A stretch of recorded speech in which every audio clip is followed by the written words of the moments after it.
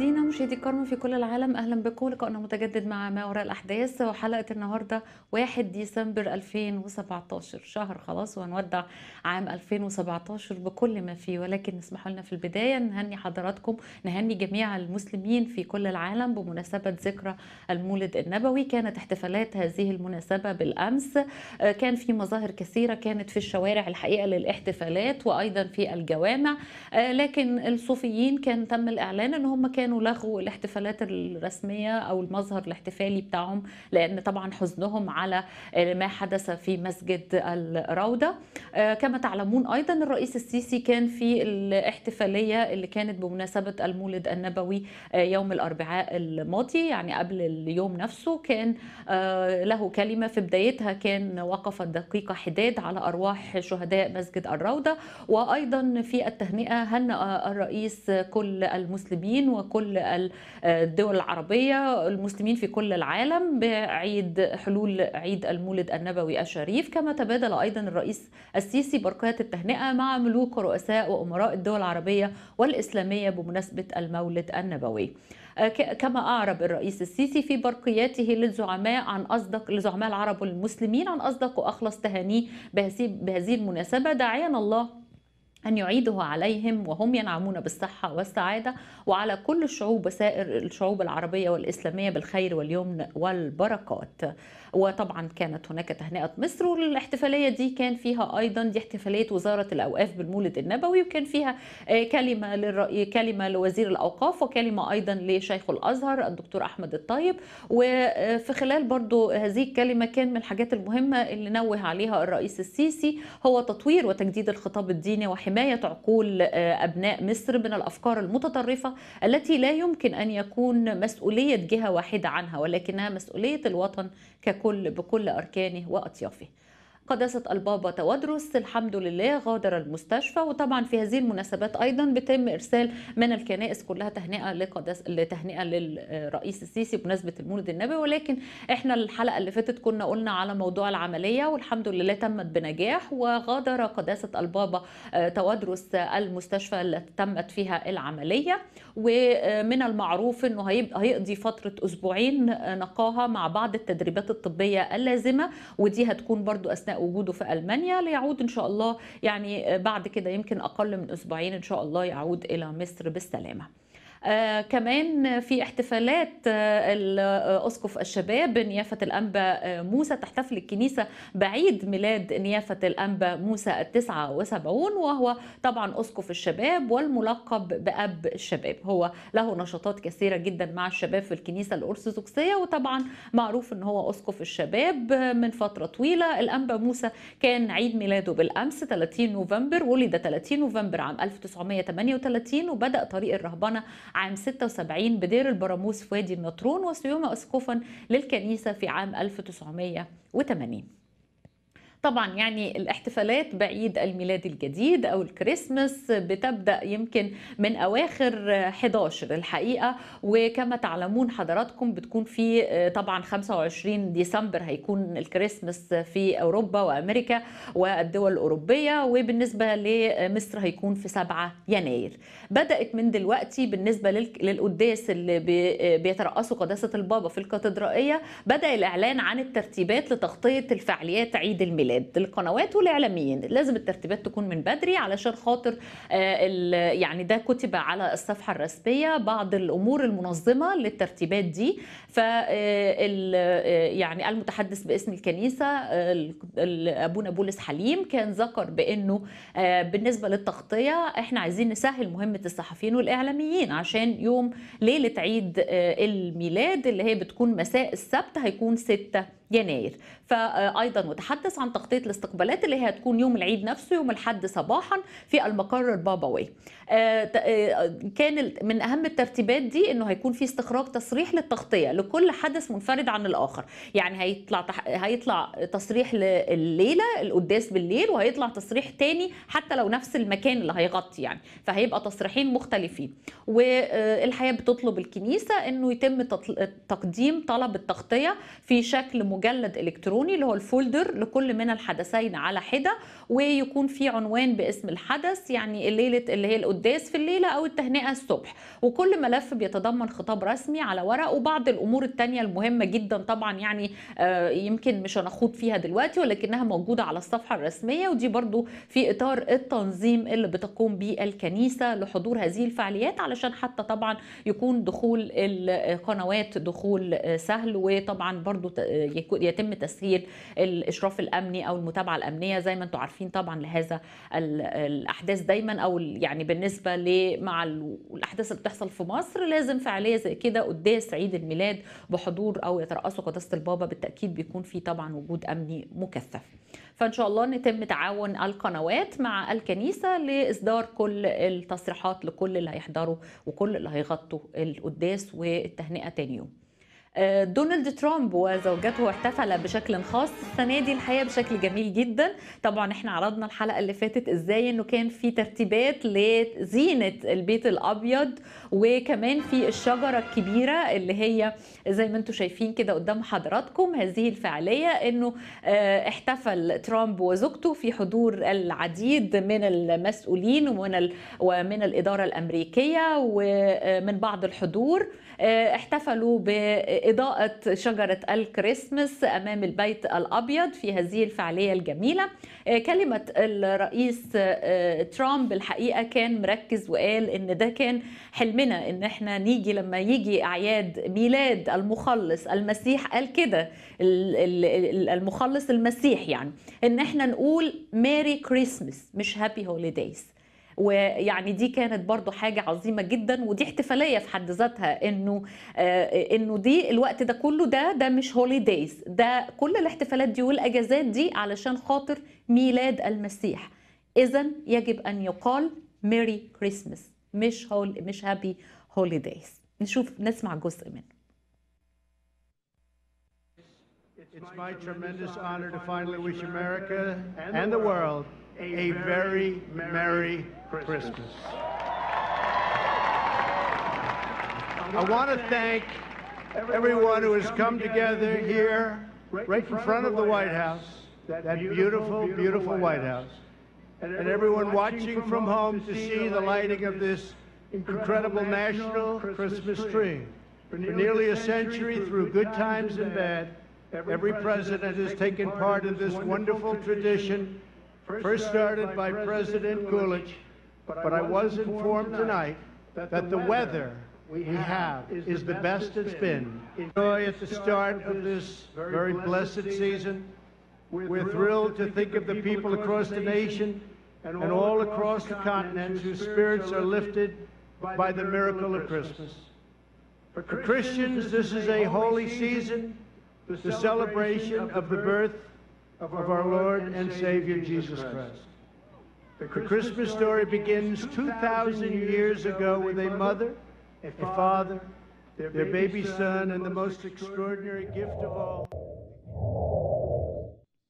تحدث عن تاريخ الميلاد انه من 2000 سنه وان احنا بنحتفل بعيد ميلاد المخلص يسوع المسيح الرب والمخلص لورد اند سيفير يسوع المسيح جيسوس كرايست فالحقيقة يمكن دي برضو حاجة عظيمة لأن هو ده المطلوب. هي كل الاحتفالات دي وكل الأمور اللي بتحصل وكل الزينة دي اللي بتحصل في كل العالم مش عشان أجازة. الأجازة علشان خاطر عيد الميلاد الكريسماس. فمش مش مفروض يعني إن إحنا نقول Happy Holidays أو أجازة سعيدة من غير ما نقول إن هو ده الأساس. ميري كريسمس اللي عشانه بتتاخد أجازات في العالم كله في هذا الوقت. نيجي بقى للحاجات اللي بتعكر صفو الأمور شوية وربنا يا رب كده إن شاء الله يعني يبطل مشورة الأشرار دول اللي هم كانوا مهددين وبالفعل حصل النهارده كان في ألمانيا تم العثور على متفجرات داخل طرد في منطقة احتفالات بأعياد الميلاد. الشرطة الألمانية في مدينة بوتسدام قالت إن الجسم المشبوه اللي تم العثور عليه بالفعل بيحوي متفجرات. ووسائل إعلام ألمانية قالت إنه الشرطة أخلت السوق بالكامل. السوق ده بيتم الاحتفال فيه بأعياد الميلاد لوجود هذا الطرد المشبوه والحمد لله أبطلوا مفعول هذا هذه المتفجرات. ولكن دي بداية الحقيقة طبعا بتنم على يقظة شديدة جدا من الشرطة ودي حاجة جميلة. ولكن واضح من إنه التهديدات اللي هددوها لو تفتكروا حضراتكم كانوا عاملين تهديدات ل ألمانيا ولفرنسا وبريطانيا. التهديدات إحنا حتى عرضناها على حضراتكم بالصور منزلين الصور وبابا نويل وإن إحنا هنحول لكم عيد الميلاد إلى الدماء. فيا رب إن شاء الله يعني يكون في يقظة للشرطة في كل أماكن احتفالات أعياد الميلاد في الدول الثلاث وفي كل العالم بإذن الله. برضو في مصر يعني برضو معقول يعني تهديدات داعش العالمية ومصر يعني ما يهددوش. إحنا قبل كده قبل حدوث التفجيرات اللي حصلت في كنيسة في الكنيسة المرقصيه وكنيسة مارجرجس بطنطا كان في صفحة اكتشفوا إن هي صفحة اسمها تحت الأرض كانت قايلة بشفرات معينة عن التواريخ دي. فالصفحة دي كانت قال إن قبضوا على المسؤولين عنها و و و. فوجئنا بإنه يا جماعة الصفحة لسه موجودة. دي بتهدد المسيحيين وبتهدد لكنائس الإسكندرية وبرده مكتوبة بشفرات. طب هي الصفحة دي إزاي لسه موجودة؟ وكاتبين صليب محروق هلال مكسور ونملك الأرض ونحكمكم. أحصيناهم 33 درجة أرضيين سبع أكوان. كل دي شفرات. كل دي شفرات غريبة محدش فاهم. عرشه تحت الهيكل جئنا من مشاغلنا متعبين. سقينا أنفسنا سقي الراحة العميق لكي نتحالب. تسلط الأضواء عليكم أيها الأقباط. سنجتمع من أجل انتقاء الدماء منكم في يوم يعتقد فيه أنه ميلاد المخلص سنشرب الدماء في كؤوس إسكندر والحافظة اسكندرية على شاطئها اللعين. سوف نرقص ونحتفل بانتصار الخادم سبعة. برضو نفس حكاية الخادم سبعة دي اللي استخدموها. يعني خادم سبعة دي الجهة المعينة اللي بتقوم يعني اللي إحنا شفنا طبعا والمفروض قبضوا عليهم وكانوا من هنا والكلام ده كله. المهم ف فكده بيقول لك اهو بنحضر الخادم في مربح من الراحة تقريبا في سيارته لكي يمتعكم باليوم المجيد ورنات الساعة الثانية عشر من ميلاد الناصري بصوت عالي من الخدام لاحتفال المجيد والبكاء والعويل قادم على الأبواب. فيعني والسيارة اللي أنتوا شايفينها دي طبعا الناس في اسكندرية لا أخفي عليكم سر إن هم حسوا إنه آه يعني هم بيحدوا بيحددوا اسكندرية بالتحديد. عرضنا الجزء ده مش عشان نقلق لكن عشان نصلي أكتر. إن ربنا إن شاء الله يعني زي ما بنقول يبطل مشورتهم في كل العالم وإن شاء الله يا رب تعدي على خير. وأعتقد إن دي برضو رسالة إنه الأمن يكون على اشده مش بس في اسكندرية طبعا في كل مكان يعني. ربنا يحفظ شعبه ومش بيكون حاجة بتحصل غير بسماح من ربنا. ولكن زي ما بنقول إنه برضو ناس تانية قالك إحنا لازم نكون كلنا مستعدين ملهاش حل تاني. الدنيا دلوقتي كلها والأمور زي ما أنتم شفتوا يعني الأحداث الإرهابية بتتطور لإيه؟ فالمفترض إن الكل يكون مستعد في أي لحظة إن ممكن تحصل أي حاجة. ربنا يكون مع الجميع ويخلينا كلنا يا رب مستعدين. وبذكر طبعا كنيسة ماري جرجس والتفجيرات اللي حصلت في إبريل في يوم أحد الزعف. الكنيسة الحمد لله انتهت من اللمسات الأخيرة علشان يتم افتتاحها رسميا يوم 2 12 اللي هو يعني بكرة إن شاء الله ويصلوا فيها بقى الاحتفالات والكياهك تسبحة كياهك وأعياد الميلاد. وإن شاء الله يا رب يكون كله على خير في كل كنايسنا شايفين قد إيه فعلا يعني تم الترميم واللمسات الأخيرة. الأخيرة ويعني خرجت الكنيسة أبهى وجميلة كما يعني تعودنا عليها وصور الشهداء منورة كمان في في زي ما أنتم شفتوها كده. نرجع تاني لصورة الشهداء اللي موجودة على من أعلى كده في سور الكنيسة. فطبعا يعني نشكر ربنا يعني وأعتقد إنه يعني الحمد لله كل الكنايس اللي كان حصل فيها تدمير الحمد لله في وقت بسيط يعني استعادت رونقها. وإحنا اقتربنا برضو من الاحتفالية الأولى بذكرى طبعا التفجير اللي حصل في كنيسة البطرسية.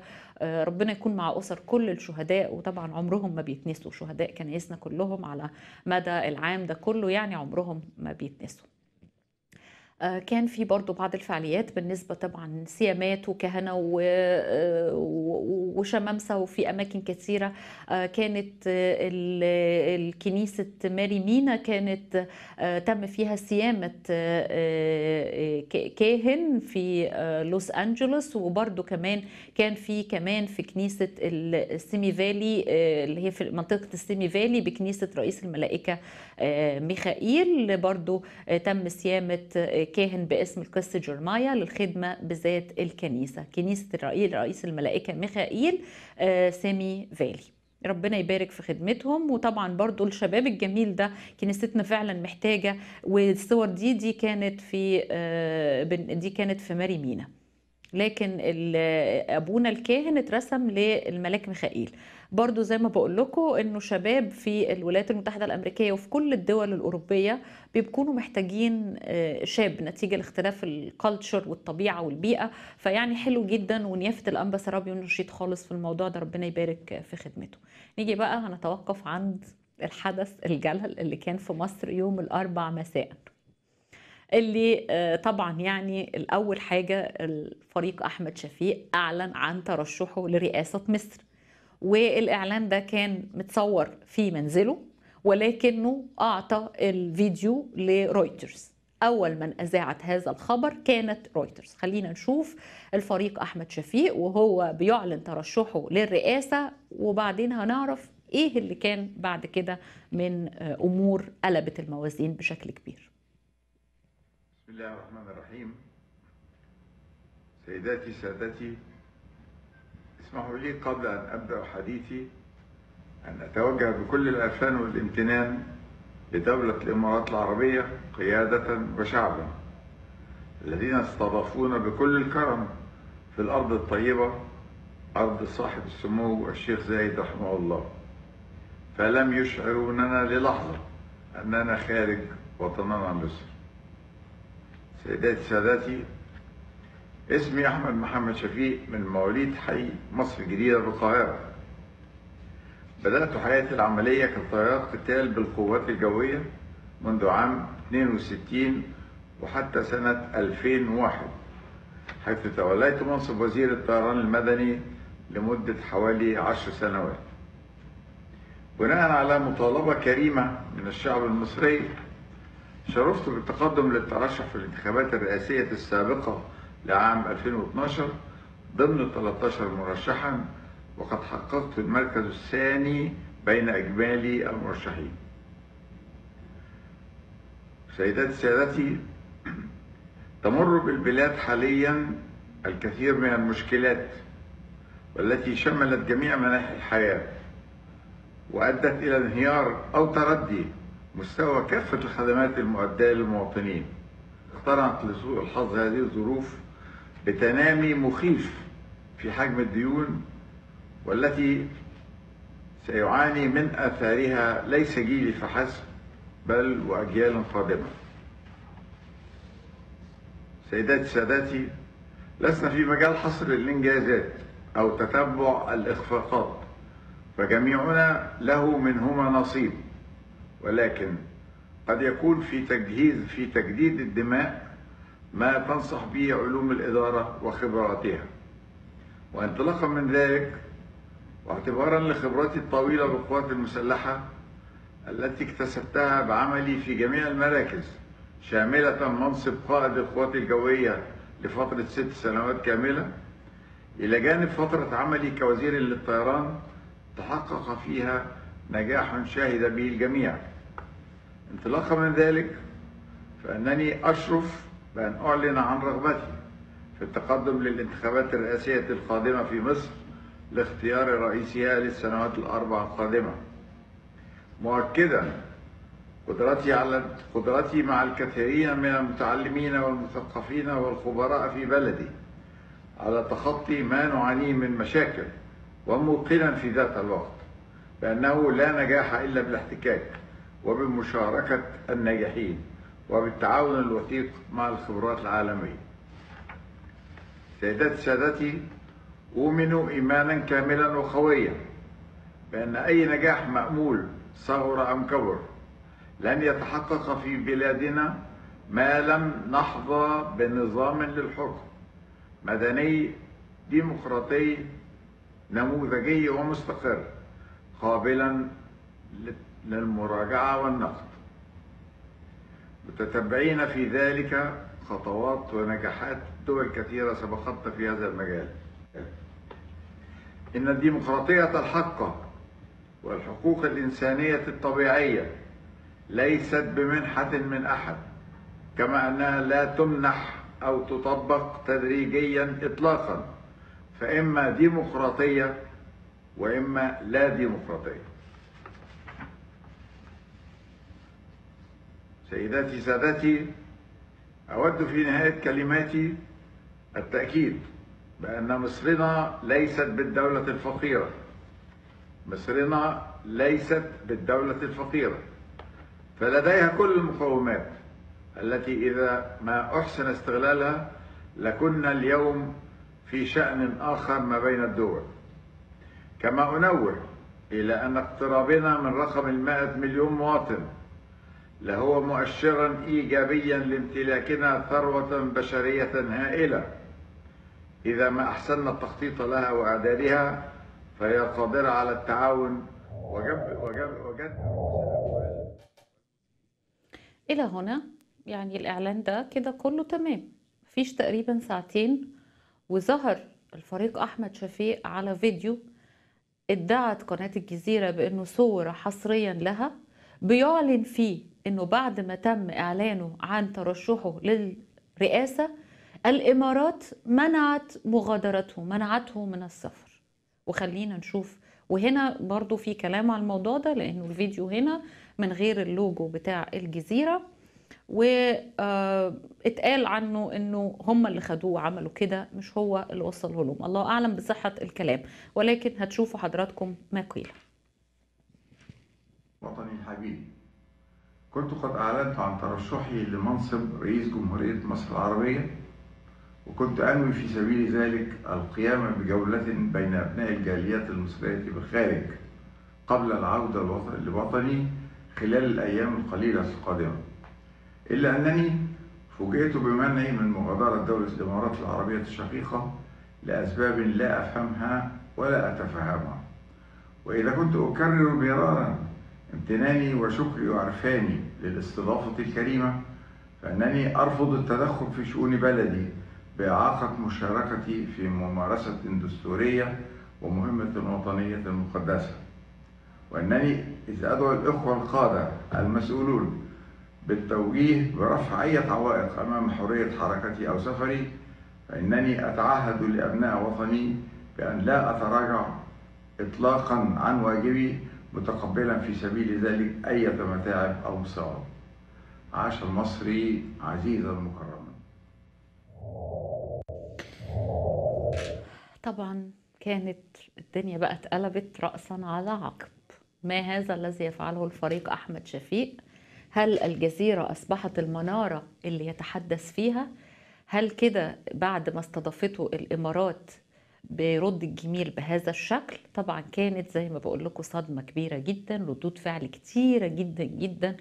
آه، بدأ الإعلام المصري كله على رأسهم طبعا عمرو أديب و آه، وطبعا يعني أحمد موسى وكثير كل الإعلاميين تقريبا يعني ولميس الحديدي وكل الفرقة الإعلاميين المصرية أتت ب- بوابل من طبعا يعني زي ما بنقول كده الإيه يعني هي مش فكرة يعني مش عارفة أقول التعبير برضو هم حتى كانوا مستغربين كله كله ما كانش فاهم هو إيه يا جماعة اللي بيحصل. وكله اهتم بإنه الموضوع إن هو راح للجزيرة وقال إنه ممنوع من السفر. ما حدش ركز على قصة طب هو كان ممنوع من السفر حقيقي ولا ما كانش ممنوع؟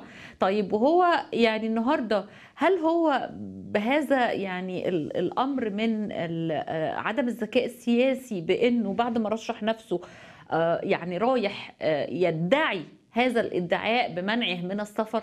هي الامارات طبعا ردوا وقالوا إحنا ما حد هو اسمه ما كانش موجود. آه، جت المحامية بتاعته بقى وضحت بعض الأمور. طبعا اتقال إنه الرسالة دي اتصورت في بيته بموبايل بنته وإنه الجزيرة هي اللي تلقفت هذا الفيديو آه، وحطت عليه اللوجو بتاعها. بعد وإنه هو الموضوع المحامية برضو بتاعته قالت إنه بالفعل لما جه الموضوع ما كانتش مرة واحدة إن هو تم منعه من مغادرة بيته. ده مش مش منعه من السفر في المطار. هنا اللي, اللي وضحته برضو في الموضوع إن هو ما كانش يبقى إحنا كده الإمارات لما بتقول هو ما كانش على قوام المنع ماشي ما كانش على قوام المنع لكن تم منعه من مغادرة بيته. وبنته بس هي اللي غادرت وقدرت إن هي تروح لدبي ولكن هو لم يعني منع من التحرك من منزله. ده اللي اتقال لأن هو منع مش بس مرة كذا مرة. يبقى اذا الأمر هنا لكن كل ساب الموضوع ده وخد إنه هو اختار الجزيرة كمنبر ليه وبقت الإخوان هم اللي بيدافعوا عنه والقصص دي كلها.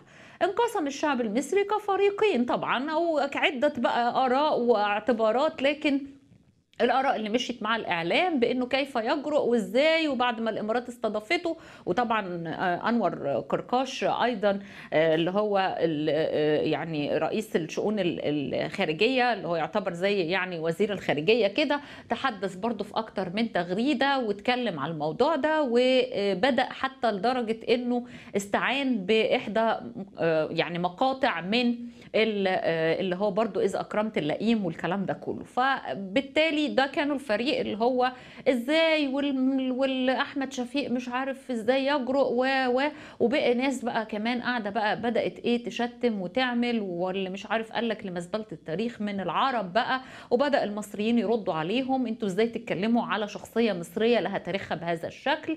الشخصية اللي أنتوا بتقعدوا قاعدين تشتموا فيها ده نزل في الانتخابات أمام الإخوان وكانت النتيجة اللي طلعت وقتها وإحنا عارفين ظروفها إيه؟ إنه قالوا إن هو اللي كان أخذ 12 مليون صوت والأخ مرسي أخذ 13 وكلنا عارفين الموضوع. يجي بقى اعرض لي من فضلك التغريدات بتاعت أنور قركاش آه، قرقاش يعني أو جرجاش زي ما بيقولوه كده إنه بدأ أول حاجة خالص عندنا ثلاث ثلاثة تغريدات ورا بعض. هو التغريدات معانا ولا لأ؟ زمايلي ممكن بس تقولوا لي تغريدات معانا ولا لأ؟ طيب فبالتالي إحنا النهارده بنتكلم عن إنه أول على طول بدأت ال- تأسف دولة الإمارات إنه يرد الفريق أحمد شفيق الجميل بالنكران ولجأ لقد لجأ إلى الإمارات هاربا من مصر. طبعا دي برضو كان عليها علامات استفهام كتيرة وناس بدأت توضح. الفريق شفيق برضو ناس قالت لك آه ده هربان ما واجهش هربان من إيه يا جماعة؟ ده كان حكم إخوان. أنتوا بتتكلموا على إيه؟ أنتوا ناسيين الاعتصام بتاع رابعة ولا إيه؟ ما هو برضو الحق يتقال. يعني إذا كان مثلا صحة إنه انه هو لجأ للجزيرة بإن هي اللي عملت هذا خطأ. ولكن نيجي في الحاجات التانية دي نقولها بتعبيراتها. يعني هو دلوقتي أنتوا متوقعين انه بعد ما كان هو وقف أمام الاخوان الإخوان والدنيا اللي حصلت فيها الظروف دي كلها اللي فينا ناس بتحكي عن حاجات الله أعلم برضو لكن في حاجات برضو معرفش نصدقها ما نصدقهاش إنه تم ال- ال- الضغط عليه اتغيرت النتيجة الأمور دي كلها ولا إحنا ناسيين. كل ده فالنهارده ليه نتهم الفريق بأنه هو هاربا من مصر؟ هاربا من مصر كان إيه الظروف؟ فالمهم يعني وإسر إعلان النتائج الانتخابات هي الإمارات برضو ما كانتش عارفة الإخوان والدنيا اللي حصلت دي عشان يقولوا برضو هارب من مصر وبعد كده القضايا كلها اللي كانت بتناقش والكلام ده كله. المهم وقال لك قدمنا له كل التسهيلات وواجبات الضيافة رغم تحفظنا الشديد على بعض مواقفه. التغريدة اللي بعدها من فضلك؟ إحنا مش عارفة يعني ماشيين بالتر- بالترتيب التوقيت كان دي 11 52 هم المفترض إن أنا كنت منزلاهم كلهم تحت بعض في يعني معانا في الصفحة. فعموما يعني إنه المفترض كده إنه بدأ بقى لغاية ما تطور الأمر لإنه قال لك إن هو مش ممنوع من السفر وإنه كمان آه، الجزء الخاص ب أثرت دولة الإمارات في تعاملها التمسك دوما بقيم الضيافة والرعاية حبا لمصر والمصريين الذين لهم في قلوبنا وتوجهنا كل التقدير وال- والاحترام وتؤكد دولة الإمارات بأنه لا يوجد عائق آه، لمغادرة الفريق أحمد شفيق الدولة. نيجي للي بعدها. وهنلاقي اللي بعدها اللي هو وللأسف في هذا الموقف آه الذي يكشف معادن الرجال. لا يسعني إلا أن أضيف مقولة المتنبي شاعر العرب الكبير إذ أنت أكرمت الكريم ملكته وإن أنت أكرمت اللئيم تمرده فطبعا يعني برضو فيها إهانة خلي بالكم دلوقتي ال- الجزء الأول كان آه، 11 52 الأولى وبعدين 11 على طول 11 54 آه، 56 عفوا وبعدين 11 وبعدين 12 وأربع دقائق دي كانت الثلاث تغريدات اللي علق بيهم آه، دكتور أنور جرجاش على الموضوع بتاع الفريق أحمد شفيق. زي ما قلت لكم طبعا في ردود الفعل التانية يعني دي ردود فعل وغاضبة ومشيت مع الإعلام وفي ناس تانية قالوا يا جماعة إزاي بتمشوا مع الإعلام؟ الفريق أحمد شفيق له تاريخه و و و وبقت الدنيا منقسمة وبقت ناس على صفحاتها تقول إيه طيب إحنا دلوقتي يا جماعة لو الاثنين مرشحين للرئاسة هتختاروا مين؟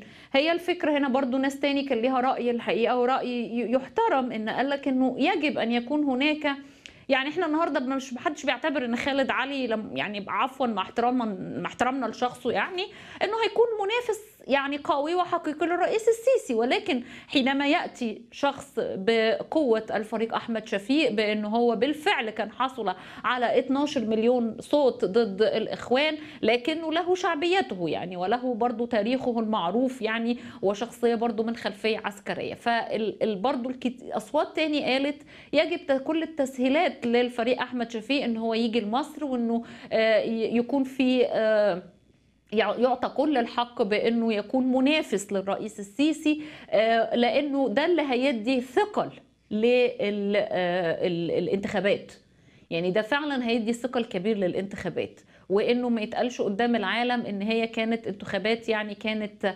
صورية أو إنه الموضوع ما كانش فيه منافسة يعني أصلا يعني معلش زي ما بنقول إنه خالد علي من الأول خالص حتى يعني يعني it's okay يعني من المعارضة ولكن لو تحدثنا عن الفريق أحمد شفيق طبعا هناك فرق كبير. الحاجة الثانية يمكن اللي إحنا برضو عايزين نوضحها زي ما قلنا هو طبعا كان قايل إن هو هيعمل جولة للدول لبعض الدول علشان خاطر يلتقي بالجاليات المصرية اللي فيها.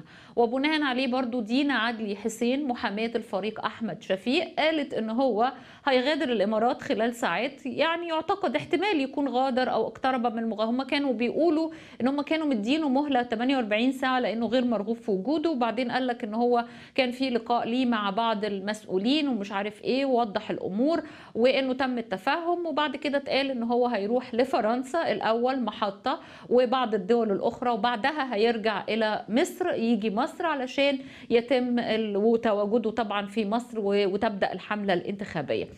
بالنسبة برضو يعني ده كلام أكدته برضو بنته إنه ده اللي هيحصل إنه هو هيروح فرنسا بعض الدول الأخرى وإنه هيرجع إلى القاهرة خلال وقت قريب. يعني الاتنين أجمعوا على كده سواء دينا دينا عدلي حسين أو مي ابنة أحمد شفيق وإن هي أكدت إنه برضو أدلت بتصريحات لرويترز النهارده إنه بيستعد لمغادرة الإمارات إلى أوروبا والولايات المتحدة اولا لعقد اجتماعات مع الجاليات المصرية وإنه بعد كده هيتوجه عائدا إلى مصر لبدء حملته الرئاسية.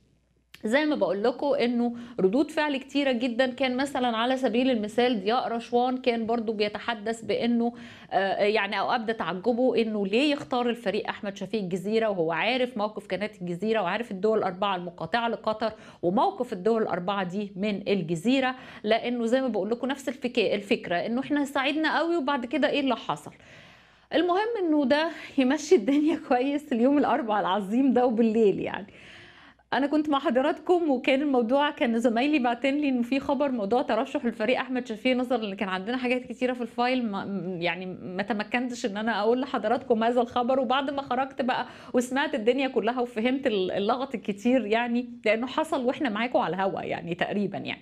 المهم إنه بعد ما روحنا بقى وتمام يعني وكان بالنسبة لمصر ده يعني يعتبر الفجر بقى خلاص يعني آه نفاجأ بإيه؟ بإنه في حد تاني اسمه العقيد أحمد قنصوه من الجيش المصري بيعلن ترشحه ابدا أيضا لانتخابات الرئاسة. وكأن هذا اليوم هو يوم الأربعاء الماضي ده كان هو اليوم العالمي للترشح. وأعتقد إنه كده طالما ما فيش حد ترشح تاني في اليوم ده أعتقد اتقفل كده باب الترشح. مش فاهمة يعني. ولكن عموما خلينا برضو نشوف من هو العقيد؟ أحمد قنصوه يا جماعة هو عرف نفسه وبدأت بقى ردود فعل وناس وقنوات ومش عارف إيه وإيه إيه بس مش مشكلتنا. بس اشمعنى اليوم ده بالتحديد؟ خلينا نسمع جزء من ما قال قاله بنفسه العقيد أحمد قنصوه تحدث باللغة العربية وأيضا أعلن انه بيتقن الإنجليزية وتحدث أيضا باللغة الإنجليزية. السلطه والفصل بين السلطات. فمن البديل؟ أنا البديل. أحمد قنصوه السن 42 سنة. عقيد دكتور مهندس معماري استشاري مدرس الهندسة المعمارية الضابط العامل بالخدمة بالجيش المصري العظيم أعلن اعتزامي الترشح لمنصب رئيس الجمهورية بالانتخابات الرئاسية المفترض بدء إجراءاتها خلال أقل من ثلاثة أشهر بحد أقصى أوائل فبراير 2018 وفق ما حدده الدستور والقوانين ذات الصلة من إجراءات وضوابط وعلى ضوء أهداف ومطالب ثورة 25 يناير و30 يونيو. ولكي لا يقول قائل أني أسلك بإعلاني هذا مسلكا غير شرعي ستجدون بالمنشور السابق لصفحتي على موقع فيسبوك جميع بياناتي الشخصية والاجتماعية والمهنية كما ستجدون بالمنشور الذي يسبقه ملخصا بجميع الإجراءات القانونية التي اتخذتها بغرض التمكن من مباشرة حقوقي السياسية والترشح بالانتخابات ووجهت بالتعنت. وذلك ببدء مشوار الاستقالة من الخدمة في مارس 2014 بعد يومين منه. وكنتيجة لإعلان رئيس الجمهورية الحالي نيته الترشح للرئاسة وحتى يومنا هذا بعد أكثر من ثلاث سنوات ونصف لم يحسم هذا المسعى ولم يتم قبول الاستقالة. القوات المسلحة بجميع متطلبات العمل على أكمل وجه دون ذرة تقصير ولم يوقع علي أي عقوبة انضباطية أو تأديبية على الإطلاق ضبطة ومستمرة حتى الآن وأنا في ذلك لا أدعي أني أكثركم فضلا أو شجاعة ولا أنا نبيا ولا طبيبا ولا فيلسوفا إنما أنا فرد منكم لي أخطائي وسوءاتي وأشهد مثلكم ما آل إليه حال الوطن وأهله والإقليم بأسره على الساحة من أقصاها إلى أدناها إلا الوطن وجميع أهله على اختلاف مشاربهم وتوجهاتهم وانتماءاتهم طالما التزموا السلم طريقا وحقوق المواطنة منها. Consequently, this time I have decided to put the whole thing in front of the people through this simple announcement. Nevertheless, it's very important to me to emphasize that, as a matter of fact, I do not belong to any party from all parties and categories on the scene, but the comprehensive mainstream of the Egyptian people. And needless to say that, despite any segmentation may have occurred or the discrepancies that may exist, the strength and the unity of the nation and its army are not controversial issues, because they are definitely my top priorities in such crucial circumstances when the urgent need to defeat the escalating threat of terrorism is dominating the world and our region in particular. Whereas inappropriate, counterproductive, and outdated policies fuel extremism and discontent in the most populous nation in the tumultuous Middle East. نزل مع الفيديو ده السي في بتاعه إن هو عقيد آه، مهندس آه، ونزل برضه خريج إيه وإن هو فعلا بيجيد اللغة الإنجليزية ولغتين آخرتين وتاريخه والكلام ده كله وطبعا بس أنا ما حسيتش إن في أي إعلام اتكلم عنه ما أعرفش هل حد برضه من زمايلي أنتوا لاحظتوا؟ يعني هو ده من يوم الأربع. كله كان مشغول طبعا بالفريق أحمد شفيق بس احتمال يعني لأنه الراجل رشح نفسه بشكل رسمي بهذا الشكل يعني والفيديو بدأ يعمل مشاهدة كبيرة والدنيا كده. وهنشوف يعني ال- ال- الفكرة بقى مش عارفة طيب بخصوص الموضوع الخاص باللي إحنا قلناه ده كده كان في حد من مصر كان طالب يعمل مداخلة معانا. معانا يا ترى؟ مريم؟ مريم من القاهرة؟ ألو من مصر من اسكندرية. أهلا بيكي أهلا بيكي مريم. أهلا وسهلا. أهلا بيك اتفضلي. أهلا. بيكي.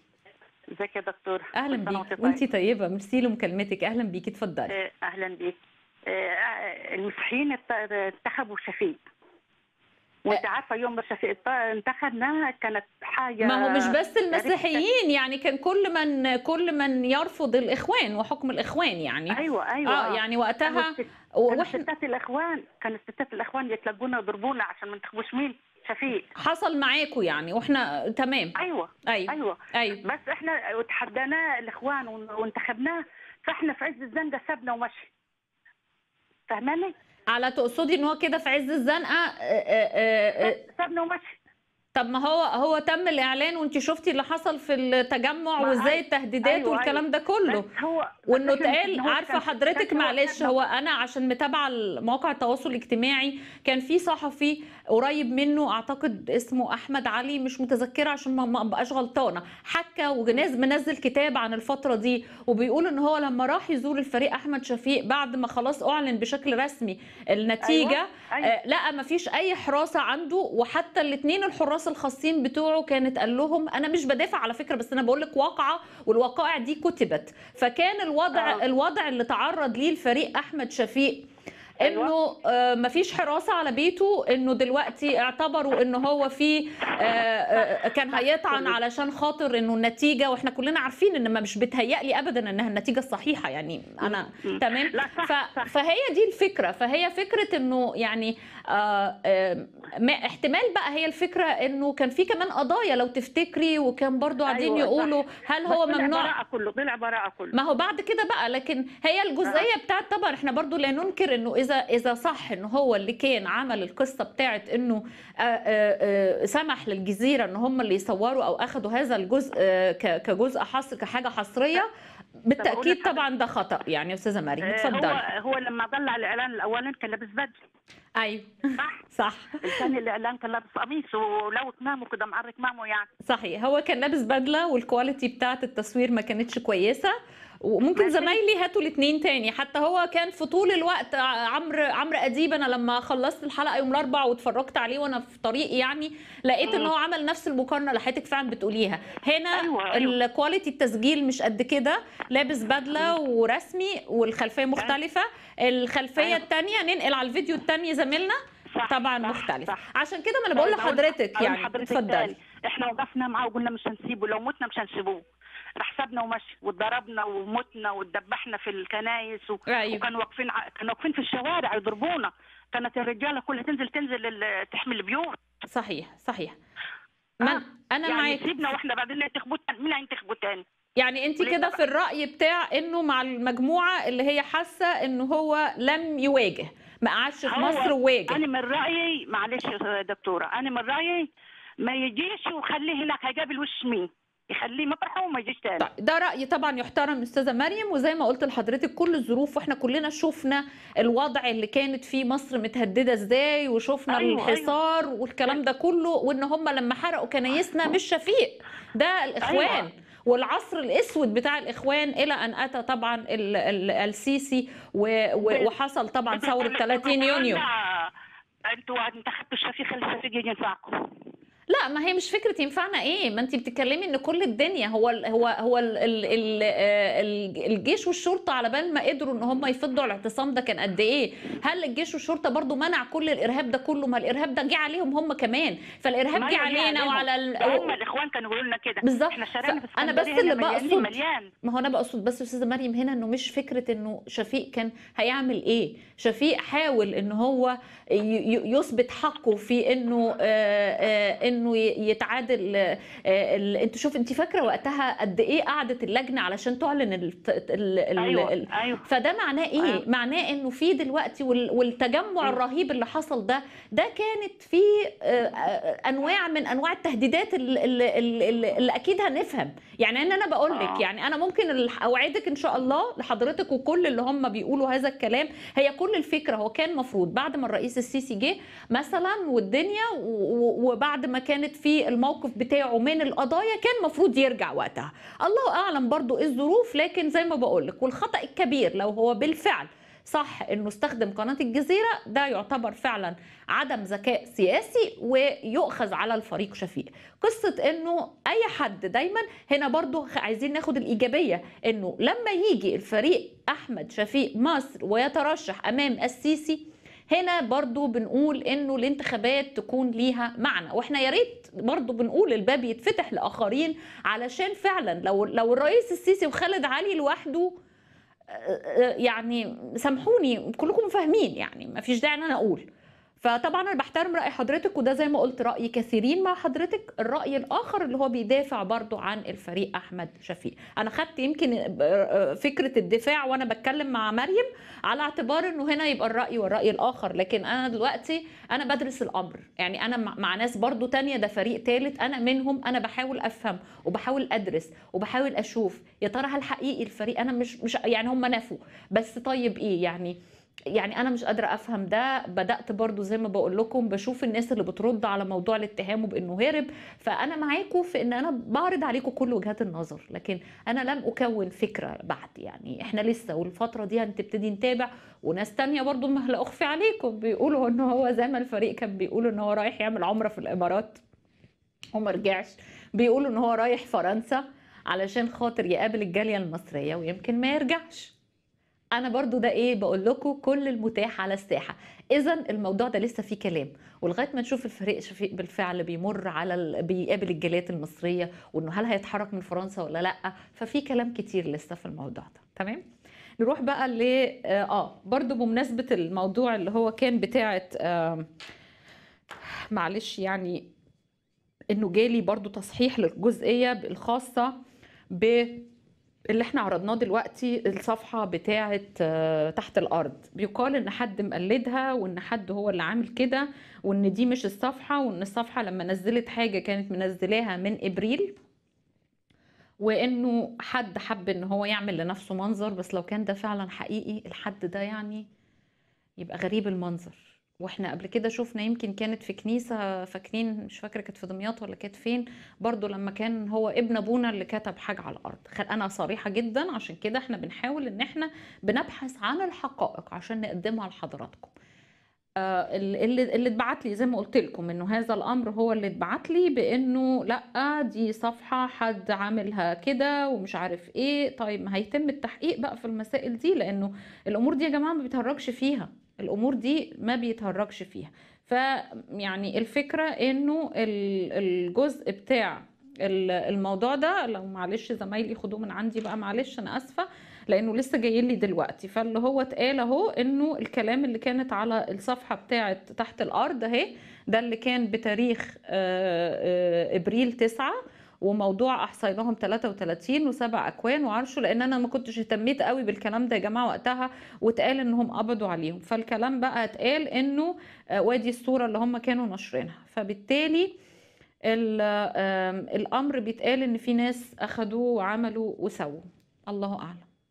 بس عشان خاطر اتبعت لي الكلام ده حبيت إن أنا أقول لحضراتكم. طيب آه، أنا عارفة إنه طبعا في برضو الموضوع بتاع الفريق أحمد شفيق ممكن يكون عامل ردود فعل وفي ناس عايزة تبقى معانا مداخلات. أستأذنكم بس ممكن نكون سريعة. يعني لو هيبقى في حد عايز يعلق وزي ما بقول لكم زي ما قلت لكم إن الموضوع لسه في أبعاد تانية. لم ت... لم ينتهي الأمر عند يوم الاربع العظيم اللي حصل فيه الترشيحات للرئاسة للفريق أحمد شفيق ولكونسول. ما هو إحنا عندنا واحد تاني ما حدش اهتم بيه. ما برضو التاني ده يعني لأن برضو في ناس قعدت تقول لا ده متهم. وهو الراجل ما قال إن أنا ما عنديش أي حاجة وإن أنا تمام. وفي ناس قال لك إزاي يترشح وهو لسه في لازم يستقيل من الجيش وبعدين يترشح. برضو ففي آه، يوم الأربعاء العظيم ده. يعني أنا عايزة أسميه كده. كان في شوية حاجات كده غريبة. خلينا نروح للنهاردة. أستاذ جرجس من إلينوي. أهلا بيك أستاذ جرجس. أهلا يا دكتوره ازي حضرتك؟ أهلا بحضرتك أهلا وسهلا. أنا أنا عايز أقول إن اتفضل. أنا مع ترشيح فريق أحمد شفيق. ليه؟ مش لأن السيسي مش كويس السيسي على عيننا وراسنا وكويس. تمام. بس وجود أي دم جديد مم. بيعمل طاقة صحيح. بيعمل تجديد. مم. حتى لما مصطفى مدبولي جه مطرح آه، وزير الوزراء اللي فات. هو هو مش جه. مطرحه هو قائم. بأعماله معلش. أي- أوضح فريق بس أحمد دي أستاذ شفيق على جرجس. أستاذ جرجس. وزارة الطيران عملها من جديد وما كلفش الدولة مليم. تمام. وأخلاقه في منتهى العظمة. راجل عظيم.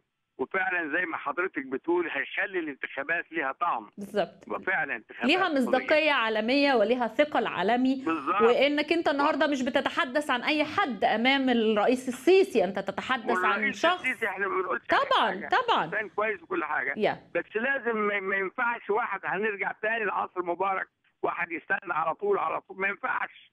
طيب. ايا كان كويس ال- ال- الاستمرار في المكان ما بيولدش طاقات جديدة. صحيح. فايه المانع ان ان إن الفريق أحمد شفيق يجي حتى لو ما فاز يبقى في فرصة إنه يترشح تاني لأن ده إنسان عظيم ولازم يترشح ولازم وأنا ضد عمرو أديب وضد ال ال ال الأخ الثاني ده اللي بيشتم في كل الناس. أحمد موسى؟ ال- ال- اللي هو ال- ال- المستشار ده.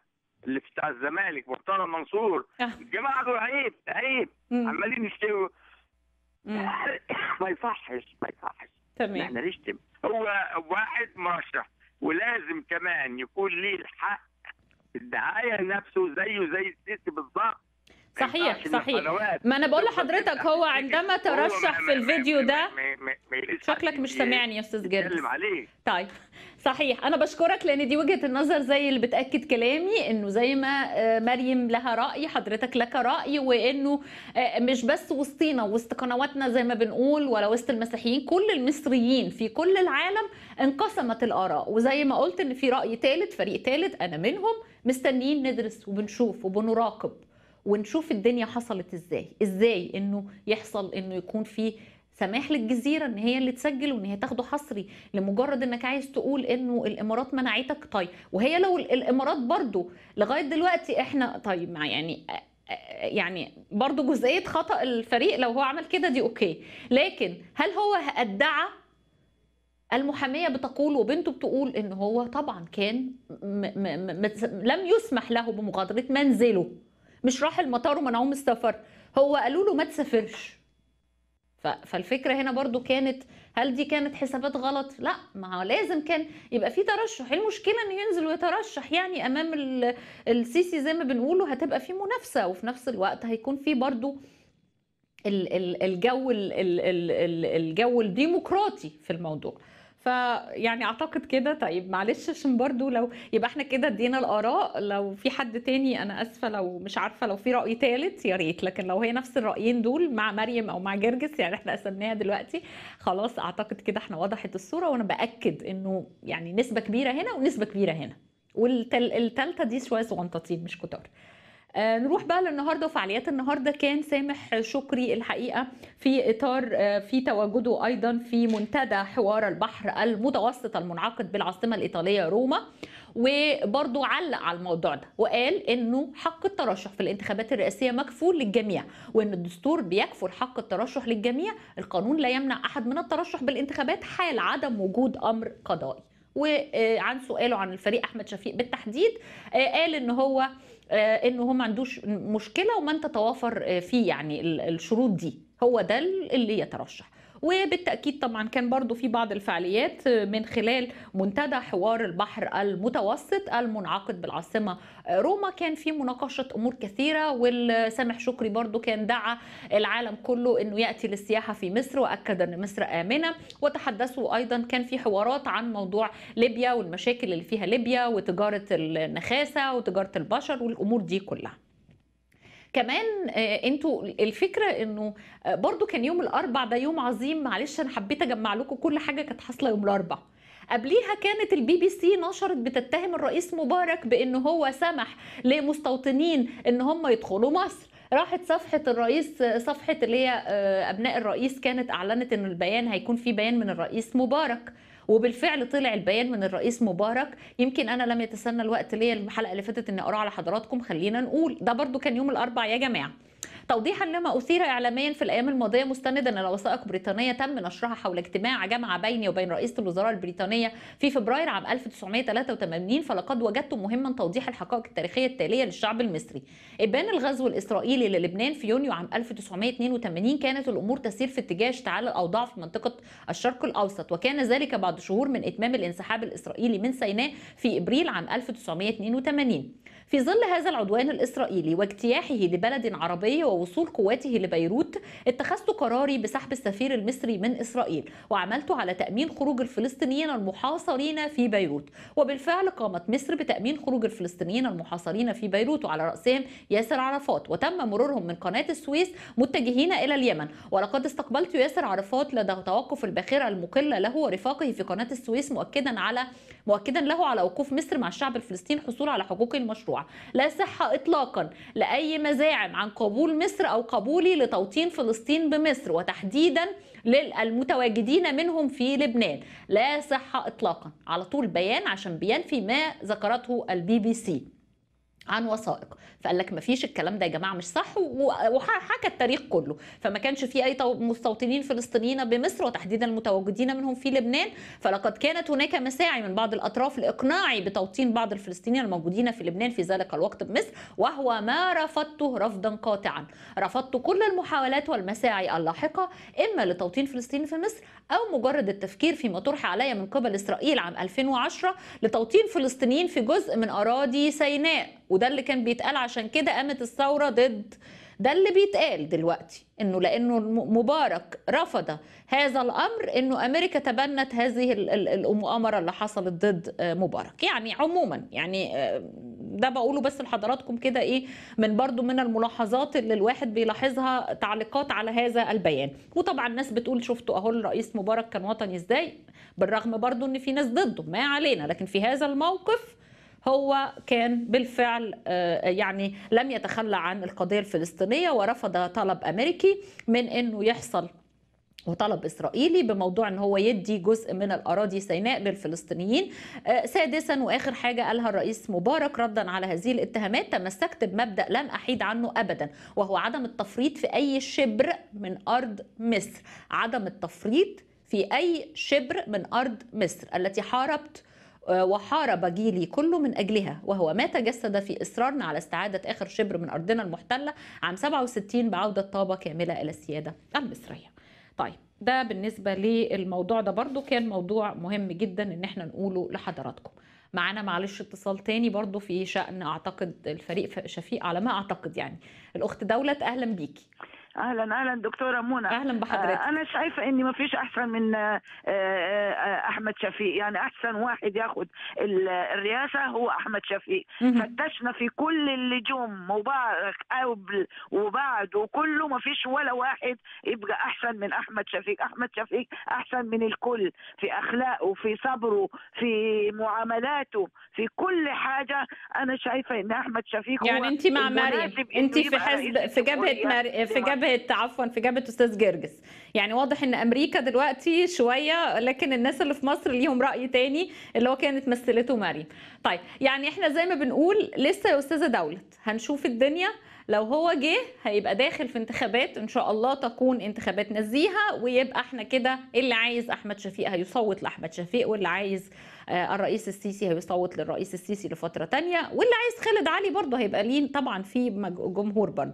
أنا بشكرك جدا أستاذة دولت وزي ما قلت لحضراتكم إحنا عندنا الفريقين. لو في وجهة نظر ثالثه أوكي. لكن لو هي وجهة النظر طبعا إحنا يعني آه، بنقدر برضو إنه آه، نوع من أنواع التوضيح بإنه هناك آه، مؤيدين للفريق شفيق وده برضو يعني معروف ولو ان زي ما بقول لكم الجزئية بس بتاعت حتة الجزيرة دي. غير كده هنشوف. هيلف فعلا ويعمل جولة في فرنسا وأمريكا وأوروبا وبعدين هيرجع ل آه، لمصر. يا مسهل وقتها زي ما بنقول هتبقى طبعا وهتكون في موضوع الانتخابات. خلينا بقى نروح إحنا كان في انتخابات النادي الزمالك قبل كده واختاروا فيها مرتضى منصور رئيسا للنادي لكن بالأمس بقى كانت موضوع انتخابات نادي الأهلي وكانت الحقيقة مشتعلة جدا ما بين التنافس كان ما بين محمود الخطيب والمهندس محمود طاهر وفاز محمود الخطيب برئاسة آه، نادي النادي الأهلي لمدة أربع سنوات قادمة. والانتخابات جرت بمقر القلعة الحمراء في الجزيرة وطبعا يعني كان حتى بعد فرز عدد كبير من الأصو... من اللجان وقال لك خلاص بقى ما فيش غير خمس لجان متبقية وكان آه، محمود الخطيب آه، محمود الخطيب هو اللي كان آه، طبعا فايز حتى قبل. ما يخلصوا بقية الخمس لجان كان واضح جدا فرق الأصوات وبالفعل طبعا كان راح النادي واستقبلوه احتفالات وإحنا بنهني برضو محمود الخطيب والنادي الأهلي آه، بمحمود الخطيب رئيسا للنادي الأهلي. النهارده بقى كان في قرعة المونديال. قرعة المونديال دي يا جماعة علشان توزيع الفرق في ان هي في أي مجموعات وإحنا كنا مستنيين نشوف مصر هتلعب في إنهي مجموعة. دي قرعة. قرعة نهايات مونديال روسيا 2018 أسفرت عن حلول منتخبي مصر والسعودية في مجموعة واحدة فيما وقعت آه، فيما وقعت تونس والمغرب في مجموعتين مختلفتين.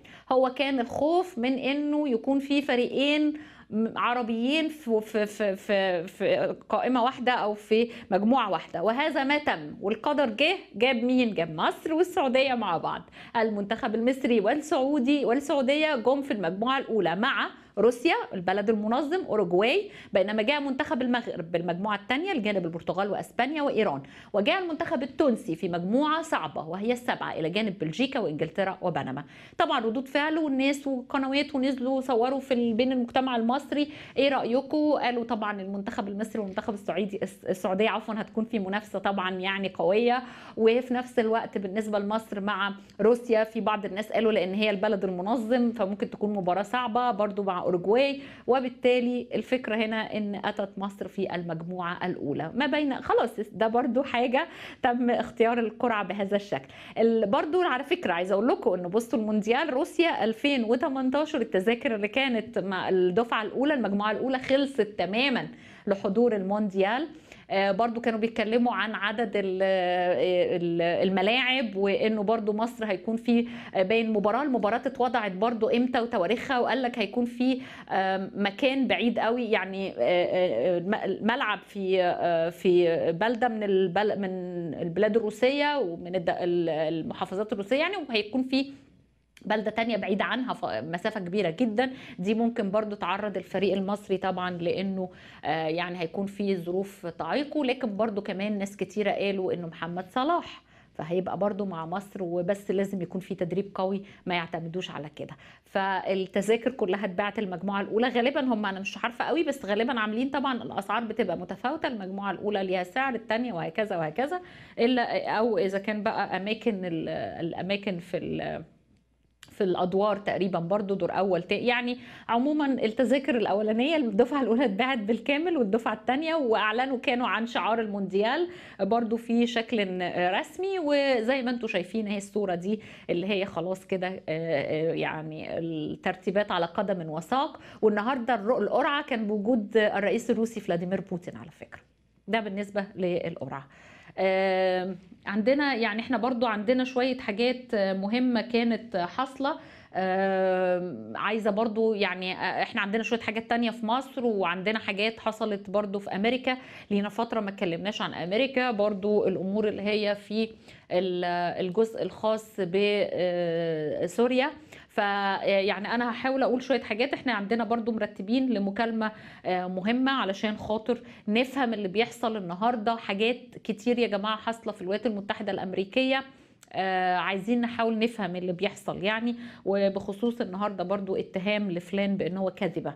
آه يعني مش هقول تفاصيل غير لما تكون معانا الأستاذة آه، هبة القدسي علشان برضو عندنا أمور كتيرة. لكن برضو النهارده الجمعة يا جماعة مصر تحدت الإرهاب بإنه بعد أسبوع واحد من حادث مسجد الروضة الروضة الدموي الإجرامي كان النهارده اتصلت صلاة الجمعة في المسجد وحضر صلاة الجمعة ال- آه، كان في وفد من الأزهر وشيخ الأزهر الدكتور أحمد الطيب وشوقي علام مفتي البلاد واللواء عبد الفتاح حرحور محافظ شمال سيناء. أول صلاة وخطبة بالمسجد عقب آه، الهجوم الدامي الذي استهدف المسجد الجمعة الماضي الذي أسفر عن العدد دلوقتي على فكرة في بعض ال- الصحف بتقول 310 في بعض الصحف بتقول 311 وصل عدد الشهداء ل 311 والمصابين كانوا آه، 125 وده بحسب الت- التقديرات الرسمية طبعا عشان كان في الأول 128 وتوفى منهم اللي هم انضموا للشهداء آه كمان كان برضو طبعا في خطبة المسجد ألقاها عبد الفتاح العواري عميد كلية أصول الدين بجامعة الأزهر الشريف. ال- كمان كان في كلمة وجهها شيخ الأزهر الدكتور أحمد الطيب لأسر الشهداء وتحدث برضو ركز على حاجتين في موضوع آه، حاجتين في موضوع إن هم برضو خوارج وأشرار ولكن قال إن الرسول أمر بقتلهم. فهو دلوقتي مش هيقول عليهم كفار دي خلاص انتهت. الأزهر مش هيقول على هؤلاء الدواعش والإرهابيين كفار ولكنه أكد على انهم خوارج و و وإنه وجب قتلهم بأمر من الرسول. المهم إن طبعا لسه في فعاليات ولسه في ناس بتزور يعني وفود كتيرة بتزور المصابين وبرضه هو شيخ الأزهر راح زار المصابين اللي كانوا في اللي كانوا في الإسماعيلية وبرضه في في السفارات كلها في مظاهر عزاء برضه بيجي وفود مصريين تعزي القنصل أو السفير المصري اللي في كل السفارات في كل الدول. وفي مسيرة دمت رجال دين مسلمين وأقباط نددت بهجوم الروضة في بلبيس. يعني في فعاليات كتيرة كانت بالنسبة للموضوع برضو الخاص بمسجد الروضة. برضو النائب ضياء الدين داوود قال مش مفيش ليس معنى لحمتنا وقوفنا صف واحد. إن إحنا ما نعالجش الأخطاء اللي بتتعلق بوقوع مثل هذه الجرائم الإرهابية. طبعا حصل ردود فعل غاضبة على موضوع البرلمان بإنه آه، ما وقفش قدام هذا الحادث بالوقفة اللي كان بيتوقعها الشعب المصري والسياسيين جميعا بل والعسكريين. المهم إن هو آه، قال لك ليس أحد فوق المستوى أن يساءل ويجيب ويريح الضمائر. ده النائب آه، ضياء الدين داوود. وقال إن إحنا المفروض إنه لا يكفينا أن نقف حداد الناس لا تنتظر منا بكائيات الناس تنتظر منا إن إحنا نكون على مستوى هذا الحدث مقدمين الغالي والنفيس حماية لهذا الوطن. ده كان بالنسبة لموضوع مسجد الروضة النهاردة واللي حصل فيه آه، آه، زي ما قلت لحضراتكم كده من أمور تمت. نيجي بقى للأحداث الجديدة النهاردة الحقيقة في موضوع آه، ال الولايات المتحدة الأمريكية وعندنا أمور كتيرة حصلت في الفترة اللي فاتت والحقيقة بيسعدنا إن إحنا يكون معانا الأستاذة هبة القدسي مدير مكتب الشرق الأوسط في واشنطن. هت يعني هتعرفنا الدنيا اللي حاصلة إيه شوية. برحب بيكي أستاذة هبة. أهلا بيك يا منى أشكرك. أهلا بحضرتك.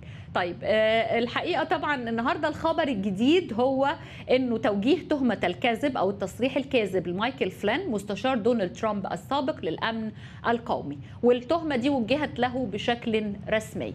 ما هي أبعاد هذا الأمر؟ هل هناك دلائل على هذا الاتهام؟ بالتأكيد طبعا يعني أنا بتوقع لكن حضرتك كلمينا أكتر عن هذا الخبر اللي أتى النهارده. هو لم يعد فقط توجيه اتهام بإدلاء بتصريحات كاذبة وإنما أصبح إقرار بالذنب بعدما ذهب مايكل فلين اليوم إلى المحكمة الأمريكية الفيدرالية وأقر واعترف بالذنب بأنه أدلى بمعلومات غير صحيحة.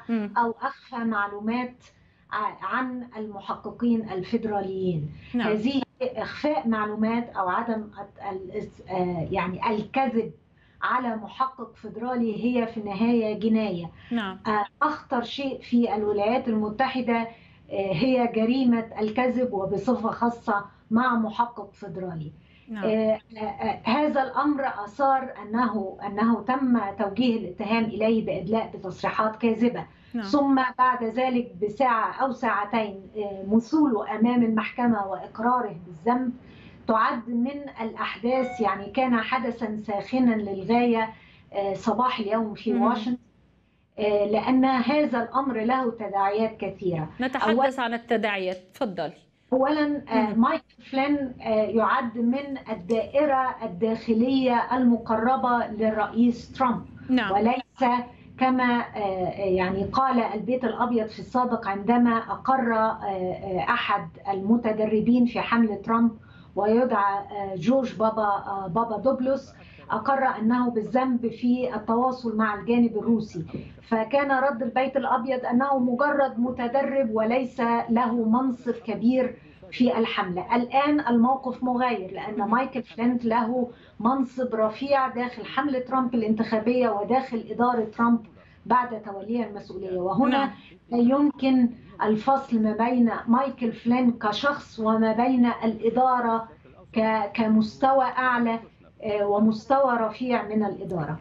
أيضا تسربت معلومات أن مايكل فلين بعد إقراره بالذنب هناك نوع من التوافق أو الاتفاق مع المحققين الفيدراليين. بحيث يتعاون مايكل فلين. معنى هذا التعاون أنه سيكشف عن معلومات جديدة أنه ربما يكشف عن تورط مسؤولين آخرين أو زملاء له داخل الحملة الانتخابية أو داخل الإدارة. معنى ذلك أنه سيقدم للمكتب الاتحاد الفيدرالي معلومات آه، آه، جديدة للغاية. أيضا تسربت تكهنات انها أن هذه المعلومات تتعلق بكون مايكل فلين قد استشار مسؤول رفيع جدا داخل إدارة ترامب قبل أن يعقد اتصالاته بالسفير الروسي في واشنطن. سيرجي كيسلاك. آه، القضية آه، حسب أوراق المحكمة تتعلق بحادثتين آه، نعم. تم فيها فلين التواصل مع السفير الروسي مم. الآن الموقف في واشنطن كالآتي أيوه كيف ستؤثر ذلك على إدارة ترامب مم. نعم. آه، إدارة ترامب في في مأزق حقيقي لأن كما ذكرت آه، مايكل فلين كان مسؤولا رفيعا تعاونه مع مكتب التحقيقات كي يكشف عن أسماء جديدة متورطة مم. آه، داخل إدارة ترامب. قد يؤدي إلى آه، بعض ال- الدعاوى التي سبق أن أثيرت حول آه، خلع ترامب أو impeachment أو يعني توجيه اتهام للرئيس ال- الأمريكي ب- بشخصه. لكن في النهاية ال- ال- الحدث جلل. طيب. آه، ال- الموضوع سيكون له تبعات كثيرة طب ممكن من ضمن التبعات دي يعني مثلا إنه لن يستمر الرئيس في فترته الأولى آه، دي بقى أثيرت هذا الأمر مم. إن آه، أي معلومات جديدة سيخرج بها التحقيق الذي يقوم به المحقق الخاص روبرت مولر ستكشف ربما عن أسماء جديدة ربما تكشف عن معرفة الرئيس ترامب نفسه بهذه الاتصالات ليس لدينا معلومات محددة عن فحوى هذا التعاون الذي ابداه مايكل فلين مع المحققين الفيدراليين لكن الأيام القادمة ستكشف عن أمور كثيرة. فكرة أن يتم يعني توجيه أو, أو أن يقوم المحقق الفيدرالي بالتحقيق مع الرئيس الأمريكي نفسه أو فكرة إثارة موضوع ألا يستمر الرئيس ترامب في منصبه. هي في نهاية الأمر موضوع قانوني معقد للغاية. فكرة الامبيتشمنت يعني تتعلق أدلة قوية يعني تتعلق وجود أدلة قوية جدا. تتعلق أيضا بمشاورات داخل الكونغرس مستمرة وتصويت بأكثر من ثلثي أعضاء الكونغرس على هذا الأمر. هو أمر في النهاية سيستغل الديمقراطيين بشكل كامل حتى لو لم يصل الأمر إلى التحقيق مع الرئيس بشكل مباشر نعم. وانه سيظل هذا ال ال يعني الضغط الذي يمكن الديمقراطيين من فرض مزيد من الضغوط على الجمهوريين وعلى إدارة ترامب وعلى إشعال قضية التواصل مع الجانب الروسي بشكل عام لتحقيق أغراض سياسية وانتخابية. طب. هناك مشروعات قوانين في الكونغرس يحاول الديمقراطيين استغلال الوضع لتمريرها هناك أيضا العام المقبل سيكون عاما انتخابيا لتجديد التجديد النصفي للكونغرس وسيستغل الديمقراطيين هذا الأمر بفاعلية وكفاءة طيب لكن يعني إحنا موقف الديمقراطيين بالتأكيد مفهوم جدا ولكن إحنا شفنا برضو في بعض القوانين اللي كان دونالد ترامب عايز يمررها في الكونجرس وكان في موقف من الجمهوريين ضده. ما موقف؟ هل حضرتك لمستي برضو موقف الجمهوريين بعد أحداث النهارده؟ يعني أنا على سبيل المثال كان نعم. هناك في الكونجرس كانت كان هناك تصويت كان يجب أن يتم مساء أمس في الكونجرس حول مشروع إصلاح الضرائب. وتم تأجيله لبعض الخلافات الداخلية إلى صباح اليوم. وحتى الثانية أو الثالثة منتصف اليوم النهاردة لم يتم التصويت على هذا المشروع داخل مجلس الشيوخ لاعتراض اثنين من الأعضاء الجمهوريين. لكن الأمور متعلقة بشكل أكبر في تفاصيل القانون وماذا يستفيد منه الأغنياء يعني مش كردود فعل مش كردود فعل على المواقف. طيب. ليس كرد فعل على ما حدث مع مايكل فلان اليوم طب باختصار برضو طالما حضرتك أثرتي القانون وطبعا إحنا عايشين في الولايات المتحدة الأمريكية وأكيد اللي عايشين برضو عايزين يفهموا هل القانون ده هيكون في صالح متوسطي الدخل ولا هيكون في صالح مين يعني؟ هي الأمور لسه يعني بيتم حسابها داخل الكونجرس بشكل لكن في النهاية المبادئ البسيطة لإصلاح النظام الضريبي الأمريكي هو إعطاء نوع من التحفيز والعوامل التحفيزية للأغنياء والشركات الأمريكية لتستثمر أكثر فيؤدي هذا الاستثمار الأكثر إلى توظيف أكثر وبالتالي دفع الاقتصاد الأمريكي. المعترضون على هذا القانون يرون ان أن إدارة ترامب تعطي الأغنياء مساحة من الإعفاء الضريبي كثيره تصل إلى 20% وفي المقابل يعاني تعاني الطبقة المتوسطة الأمريكية من جراء هذه الإعفاءات للأغنياء بينما الطبقة المتوسطة والفقيرة لا تحصل على مثل هذه الإعفاءات. هي عملية حسابية معقدة تتدخل فيها أمور كثيرة.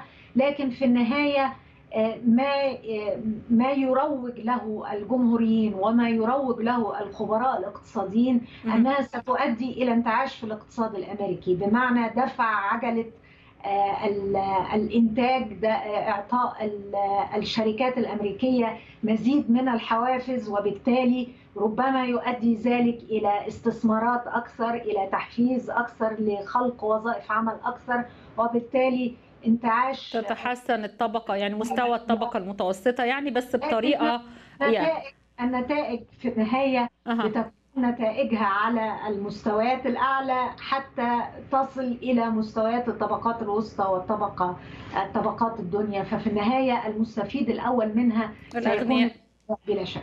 نعم يعني كعادة الجمهوريين يمكن يعني دي سياسة الجمهوريين اللي إحنا عهدناها دايما. هي سياسة الجمهوريين أنها يعني أن يعني بصفة عامة أن أن تحقق دخلا وتستطيع أن يكون لك قرار فيما تحققه من الدخل. سياسة الديمقراطيين بصفة عامة أن الدولة هي التي تقوم بكل شيء، هي التي تقوم بالمشاريع الخاصة بالبنية التحتية، المشاريع الخاصة بالتعليم، الطرق، وتتدخل في كيف ستنفق أموالك وكيف ستنفقها والأفضل أن تعود كضرائب إلى الدولة حتى تنفقها في مشروعات اجتماعية وخدمية. ففي النهاية هذا فكر الجمهوريين وهذا فكر الديمقراطيين وهو في سجال دائم من يفوز وأي وجهة نظر تفرض نفسها. صحيح صحيح. وحتى إحنا لقينا برضو إن بالرغم من إنه الرئيس جمهوري أو ينتمي للحزب الجمهوري ولكن هناك برضو بعض الإعاقات ويعني إلى حد ما الديمقراطيين يعني قادرين إن هم يعني يستقطبوا بعض من الجمهوريين معاهم. طيب نيجي لمشكلة تانية برضو أثيرت امبارح قبل المواضيع دي. إحنا كده برضو لازم نتحدث في الحاجات التانية لأنه موضوع ريكس تيلرسون.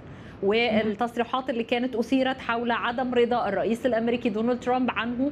وبعدين النهارده كان حصل بيقال اجتماع وخرجت تصريحات تيلرسون بأنه هذه التقارير الإعلامية بالنسبة لإقالته من منصبه يعني بيعتبرها إن هي يعني غير صحيحة يعني.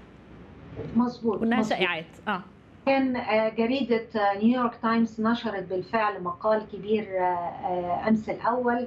أو أمس حول التكهنات. هي في النهاية تسريبات من داخل البيت الأبيض حول إمكانية الاستغناء عن ريكس تيلرسون في منصب وزير الخارجية الأمريكي والاستعانة بمايك بومبيو الذي يشغل حاليا رئيس الاستخبارات الأمريكية ليكون في منصب وزير الخارجية الأمريكي والاستعانة بسناتور توم توم كوتن السناتور الجمهوري عن ولايه أركنسا.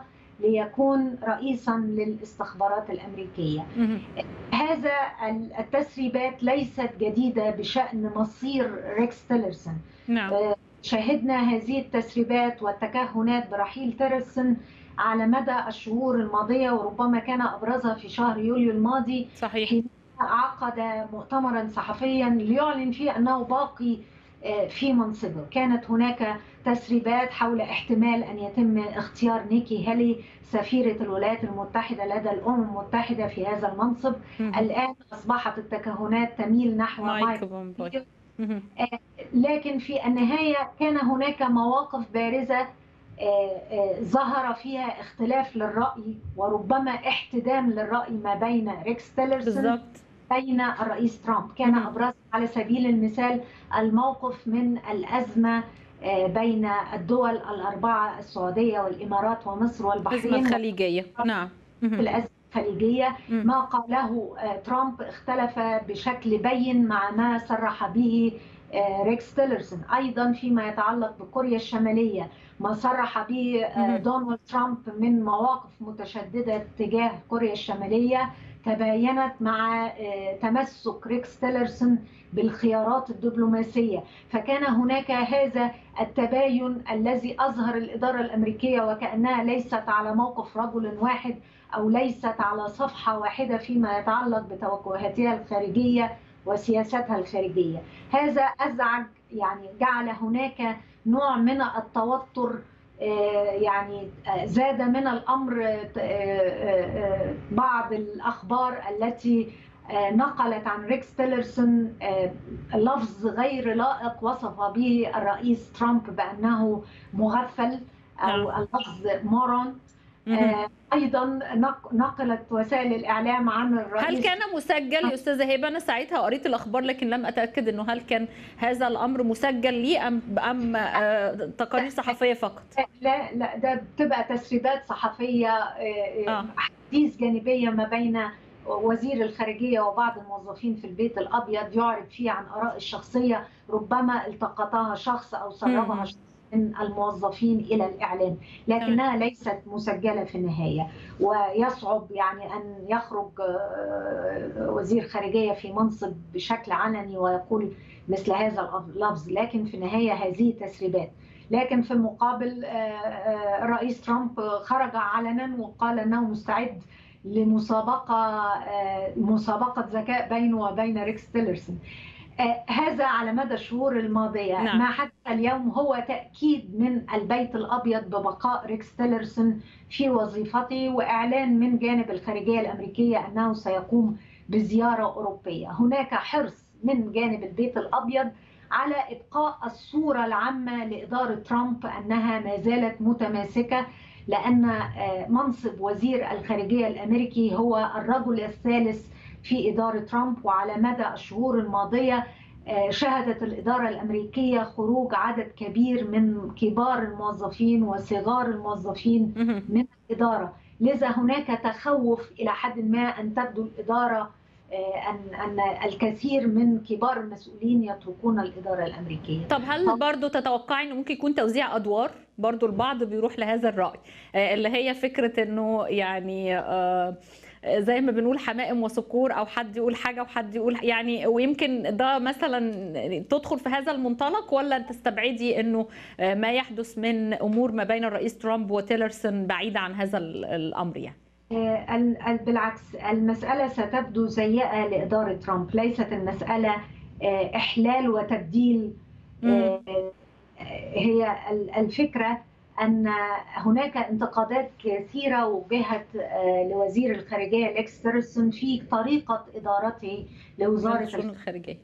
تركيزه على تخفيض الميزانية تركيزه على التخلص من عدد آه، كبير من المستشارين آه، الدبلوماسيين كبار المستوى آه، في الخارجية الأمريكية تركيزه أصلا على إدارة الخارجية كشركة كما أدار آه، شركة إكسون موبل وليست وليس التركيز على الترويج الدبلوماسي وحل المشاكل وإدارة إدارة العمل آه، البعض أرجع ذلك لافتقاد ريكس تيلرسون لخبرة العمل في المجال الحكومي.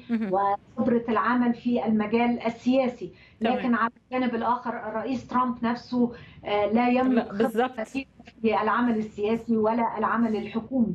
لكن في النهاية هي اختلافات آه، من المهم جدا أن يكون الرئيس الأمريكي ووزير خارجيته الذي ينفذ التوافق آه رؤية الإدارة الأمريكية في السياسة الخارجية لابد أن يكون على توافق على قدر كبير من التوافق وليس فقط التوافق. حتى تظهر الإدارة الأمريكية للخارج للعالم أنها تقف على آه، استراتيجية موحدة وسياسة آه، متوافقة إلى حد كبير ما بين الإدارة آه، بكل أفرعها تمام طيب حضرتك يعني في موضوعين تاني. عند حضرتك وقت إن إحنا عندنا موضوع القدس. معلش لو حضرتك تعلق لنا بسرعة بس لأن موضوع القدس ده يعني دلوقتي إن إنه يعني بعد ما كانت الأمور هديت وسكتوا خالص في الموضوع ده فوجئنا بإنه الرئيس بيفكر مرة أخرى في آه، آه، في إنه آه، تنقل تنقل السفارة الأمريكية إلى القدس. وبعدين قال لك لا ده هيرجعوا المو... هيرجعوا الموضوع ولكنه في صدد إنه يتحدث يوم الأربعاء عن موضوع إنه القدس عاصمة إسرائيل. آه، هو موضوع بالفعل شائك. آه، كان في حديث على مدى الأسبوعين الماضيين حول إغلاق مقر منظمة التحرير الفلسطينية ثم إعادة فتحها. آه. آه، أيضا مايك بنس في احتفال بم... في احتفال في نيويورك في آه، آه، الأمم المتحدة آه، أن إدارة ترامب تفكر جديا في الإعلان عن نقل السفارة الأمريكية هي هي بتهيألي أستاذة هبة يعني لو أعلنوا عنها أو نقلوا طب ما هي النتيجة واحدة. ثم خرج ثم قال البيت الأبيض أن الوقت سابق لأوانه للإعلان عن نقل السفارة. ثم اليوم مرة أخرى آه، الحديث عن خطاب متوقع يوم الأربعاء المقبل. في النهاية هي نوع من الجدل السياسي أو المناورات السياسية. هل جس ربما نبض؟ الآن. آه، آه، لا لي- ليست جس نبض ليس هناك eagerness أو يعني آم، مهم. آه، يعني إلحاح من الجانب الإسرائيلي على نقل السفارة، ليس هناك امرا ملحا يجعل الرئيس الأمريكي يقدم على هذه الخطوة. آه، من جانب آخر هناك اعتراض عربي كبير من جانب مصر والأردن والمملكة العربية السعودية وعدد كبير من الدول العربية على مثل هذه الخطوة. آه، أيضا على مدى الإدارات الأمريكية السابقة التي وعدت بنقل السفارة الأمريكية إلى القدس ولم تستطع أي إدارة أمريكية سابقة على تنفيذ هذا الوعد. إدارة الرئيس ترامب تضع نفسها في مأزق حقيقي آخر بإصرارها على هذه المناورات، هي ترى أن هذه المناورات والشد والجذب فيما يتعلق بمصير السفارة الأمريكية هل تبقى كما هي أم تنقل إلى القدس؟ تعتبرها إدارة ترامب نوع من المناورة السياسية لإجبار الطرفين على القدوم إلى مائدة المفاوضات وبحث حل حل للقضية الفلسطينية وكافة قضايا الحل النهائي. لكن في النهاية أتشكك بالفعل ان أن تقدم. أن يقدم. لأنه بيفتح كذا جبهة يعني. جبهه يعني كوريا الشمالية بقى. أنا برضو عشان وقت حضرتك لأن دي برضو نقطة مهمة والتصريحات النهارده برضو أو امبارح اللي اتقالت إنه المندوبة الأمريكية لدى الأمم المتحدة نيكي هالي قالت إن بلادها طلبت من الصين قطع امدادات النفط عن كوريا الشمالية محذرة من أن النظام الكوري الشمالي سيشهد دمارا تاما إذا ما اندلعت الحرب. برضو في ردود فعل بتتحدث عن أنه ترامب في هذه المشكلة يتحدث بشكل عنتري وإنه برضو هنا بنلاقي تصريحات مختلفة ما بين إنه ناس تقول إنه ممكن يكون في إقدام على ضربة عسكرية إنه لا حلول سياسية لا منع أو مزيد من العقوبات. حضرتك من خلال متابعة شايفة إنه الأمر هيوصلنا لايه لأن ده أمر خطير. هل ستدخل أمريكا في حرب؟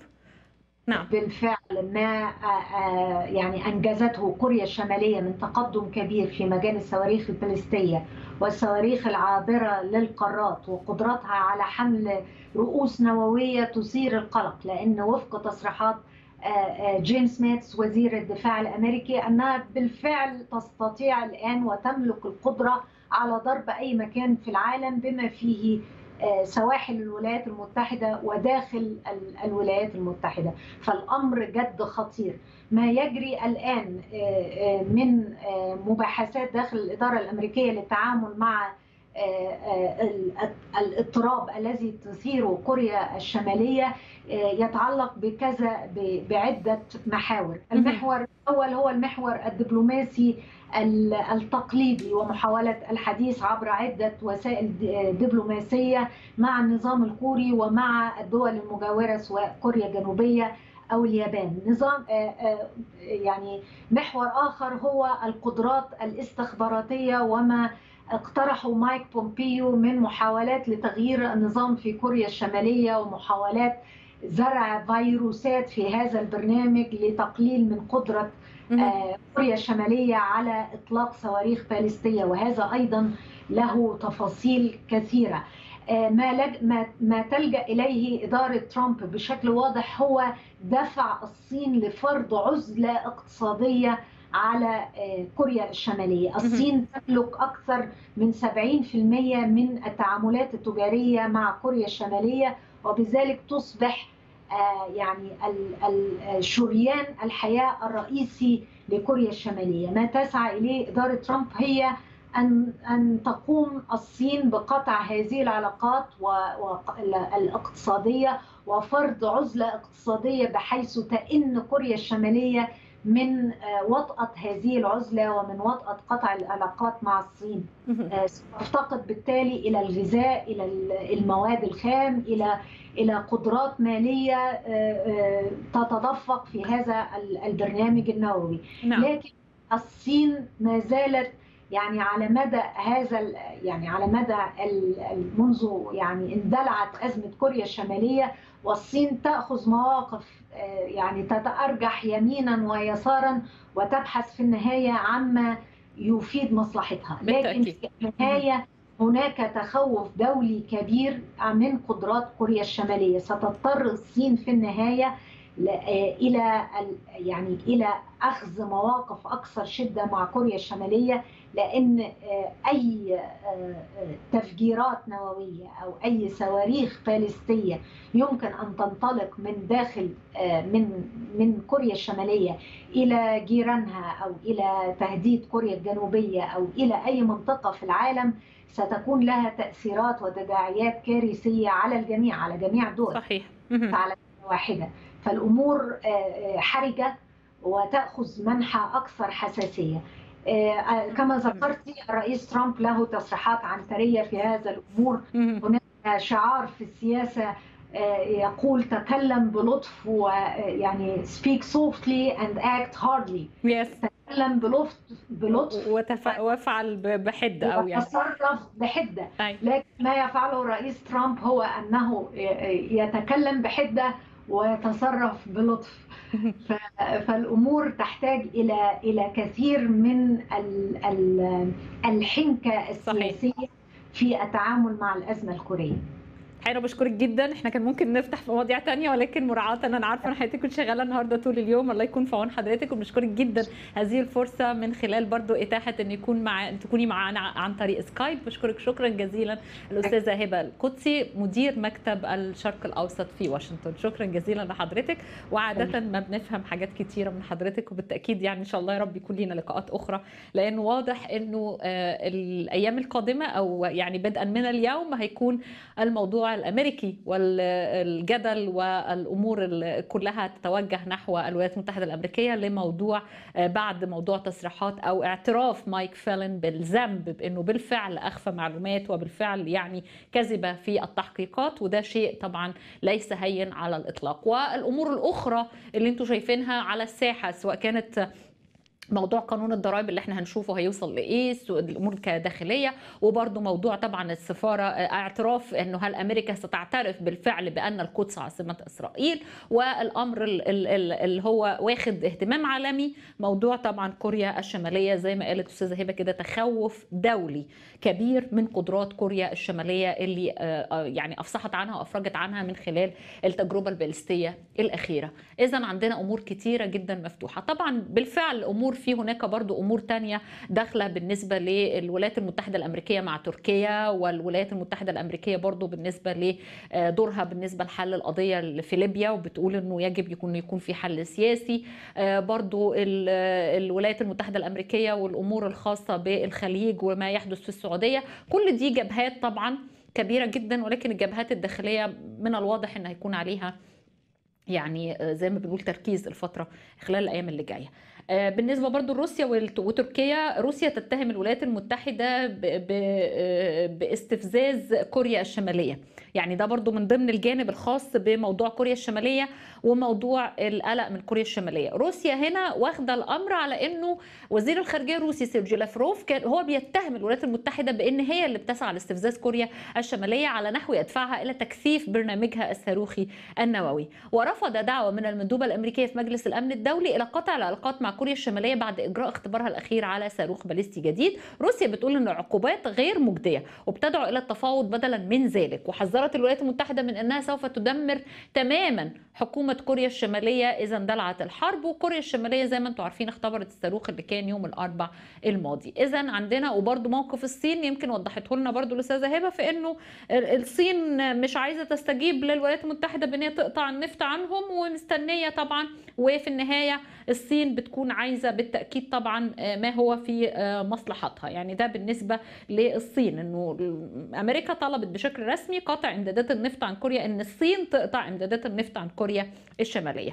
وبالتالي يمكن زي ما أنتم يعني شايفين التقرير كده قدام حضراتكم إنه الأمر خطير. ال- الصاروخ الأخير ده أو التجربة الصاروخية الأخيرة دي أثبتت أن آه، أن بالفعل آه، كوريا مستمرة في آه، تجاربها النووية. وإن هي كمان أعلنت كوريا قالت إحنا دلوقتي خلاص بقينا في إطار الدولة النووية. وهنا يمثل خطورة آه، شديدة. ألمانيا طبعا موقف ألمانيا برضو كموقف دولي. أعلن وزير الخارجية الألماني آه، زيجمر جابرييل أن بلاده سحبت ثالث دبلوماسي لها من كوريا الشمالية ردا على قيام بيونج يانج في إطلاق صاروخ باليستي جديد. وبرضو ده كان الحقيقة في امبارح كان في لقاء ما بين ريكس تيلرسون وجابرييل وكان في الختام هذا اللقاء آه، قال جابرييل إن هو آه، بيريد دعما آه، يعني إن هو عايز دعم لجهودهم لتبني موقف تجاه بيونج يانج وهو يحظى بهذا الدعم. والوزير قال إن ألمانيا سبقت لها إنها سحبت اثنين من السفراء من موظفي سفارتها وتسحب واحد ثالث يعني بما معناه إنه برضو ريكس تالرسون أو الخارجية وسياسة أمريكا بتحاول إن هي م- آه، حلفاء لها في هذا الأمر وخصوصا طبعا آه، ألمانيا وأوروبا بالكامل. فأعتقد هتبقى على أساس إن كل ده جابها في في آه، لأنه روسيا حليف لكوريا الشمالية. عشان برضو بالنسبة للنقطة السياسية دي تكونوا حضراتكم عارفينها. نيجي بقى بالنسبة لموضوع تركيا برضو أمريكا إحنا قلنا الحلقة اللي فاتت إنه كانت آه، آه، تركيا بدأ في اتصال هاتفي. آه، الرئيس نفسه الرئيس الأمريكي اتصل بأردوغان وبيحاول إن هو يرضيه وده أتى بعد الاجتماع اللي كان بالنسبة لموضوع سوريا. إنه اجتمعوا الثلاثه مع بعض كان أردوغان وروسيا وإيران. يعني أردوغان وبوتين وروحاني. كدول ثلاثة تركيا وروسيا وإيران. اعتبرت أمريكا بيقال يعني إنه بادر الرئيس دونالد ترامب بالاتصال بالرئيس التركي على اعتبار إنه هو آه، عايز يكون لأمريكا دور في الموضوع بالنسبة لسوريا. على الجانب الآخر برضو كان في اتهام لرجل أعمال آه، عفوا رجل أعمال بيتهم أردوغان بالتورط في غسيل أموال إيرانية وخرق العقوبات الأمريكية. ده رجل أعمال التركي الإيراني آه، رضا دراب. اتهم الرئيس رجب طيب أردوغان بأنه وافق شخصيا على اتفاقات تسمح بخرق العقوبات اللي كانت مفروضة على إيران. فهل برضو ده نوع من أنواع يعني دلوقتي يعني محاولة برضو المساس بالعلاقات اللي هي دلوقتي الجديدة ما بين آه، تركيا آه، وإيران أو الأمور اللي زي كده يعني هنشوف طبعا ال- الأمر ده برضو. ولكن في تقارب دلوقتي أمريكي تركي تقارب أمريكي تركي آه نيجي بقى عندنا برضو في بريطانيا رئيسة الوزراء تريزا ماي قايمة ببعض هتقوم بجولة النهاردة كانت في زيارة أعتقد زارت العراق الدول العربية وعندهم برضو في مشكلتهم مع الانفصال اللي هي البريكست الانفصال عن الاتحاد الأوروبي آه، في برضو بعض الأمور. لكن في خبر كده يعني ظريف آه، إنه آه، الأمير هاري أعلن عن انه هيتزوج الممثلة الأمريكية ميغان ميركل. أو ماركل وده كان في إعلان الرسمي لجوازهم. في برضو يمكن زي ما بنقول إنه آه، كان في كلام على الموضوع ده وأصبح هذا الأمر آه، حقيقة تم إعلانها. آه، كان في آه، إعلان زي ما بقول لكم رسمي وهو خرج هاري وميجن وأعلنوا الخطوبة وإن هم هيتزوجوا الربيع المقبل وإن هم هيعيشوا في قصر كينغستون في لندن. ويعني خلاص بقي قرار رسمي وهيكون في بيان بتفاصيل الزفاف كله. وكان برضو في فيديو تاني عن الخاتم اللي أهداه. هي هتبين الخاتم دلوقتي وكان برضو في تسجيل تاني عن إنه الخاتم ده هو اللي اختار تصميمه بنفسه وإنه في فص من الفصوص تقريبا بتاع جدته حاجات كده يعني. أو والدته مش فاكرة الحقيقة قوي المهم إن ده برضو حاجة كده من الأخبار وكله برضو بيقول يا ترى هيكون في جواز في كنيسة ولا إيه الأخبار؟ يعني عموما هنشوف.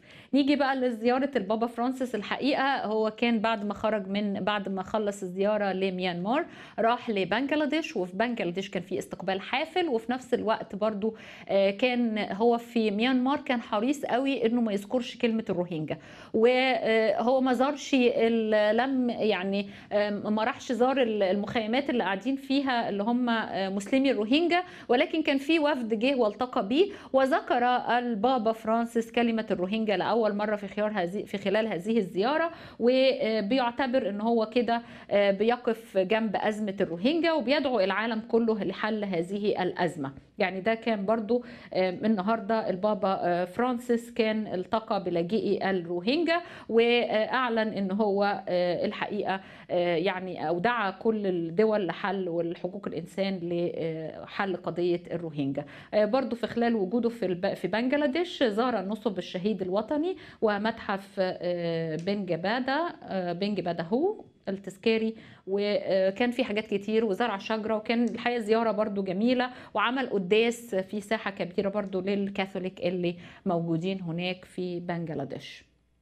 ده بالنسبة للروهينجا. عندنا النهاردة تغير في موضوع اليمن وده مهم جدا إنه الحقيقة آه، أول حاجة إنه الصواريخ اللي كانت أطلقت من اليمن باتجاه السعودية آه، بعد الفحص تبين إن هي ايرانية إيرانية الصنع. يعني اتقال إنه كده السعودية كانت آه، محقة في قصة إنه الصواريخ دي إيرانية. الجزء الثاني النهاردة في تطور برضو لل- للأمر إنه حصلت اشتباكات ما بين ما بين الحوثيين وما بين علي عبد الله صالح والحوثي آه، دي كانت برضو من ال- الخلافات اللي زي ما بنقول كانت يعني دلوقتي آه، خلاف يعني اشتباكات آه، وحصل فيها قتلى من الطرفين والكل بينظر دلوقتي الاتحاد. أنتوا عارفين انه كان في اتحاد ما بين الحوثيين وعلي عبد الله صالح الرئيس السابق لليمن.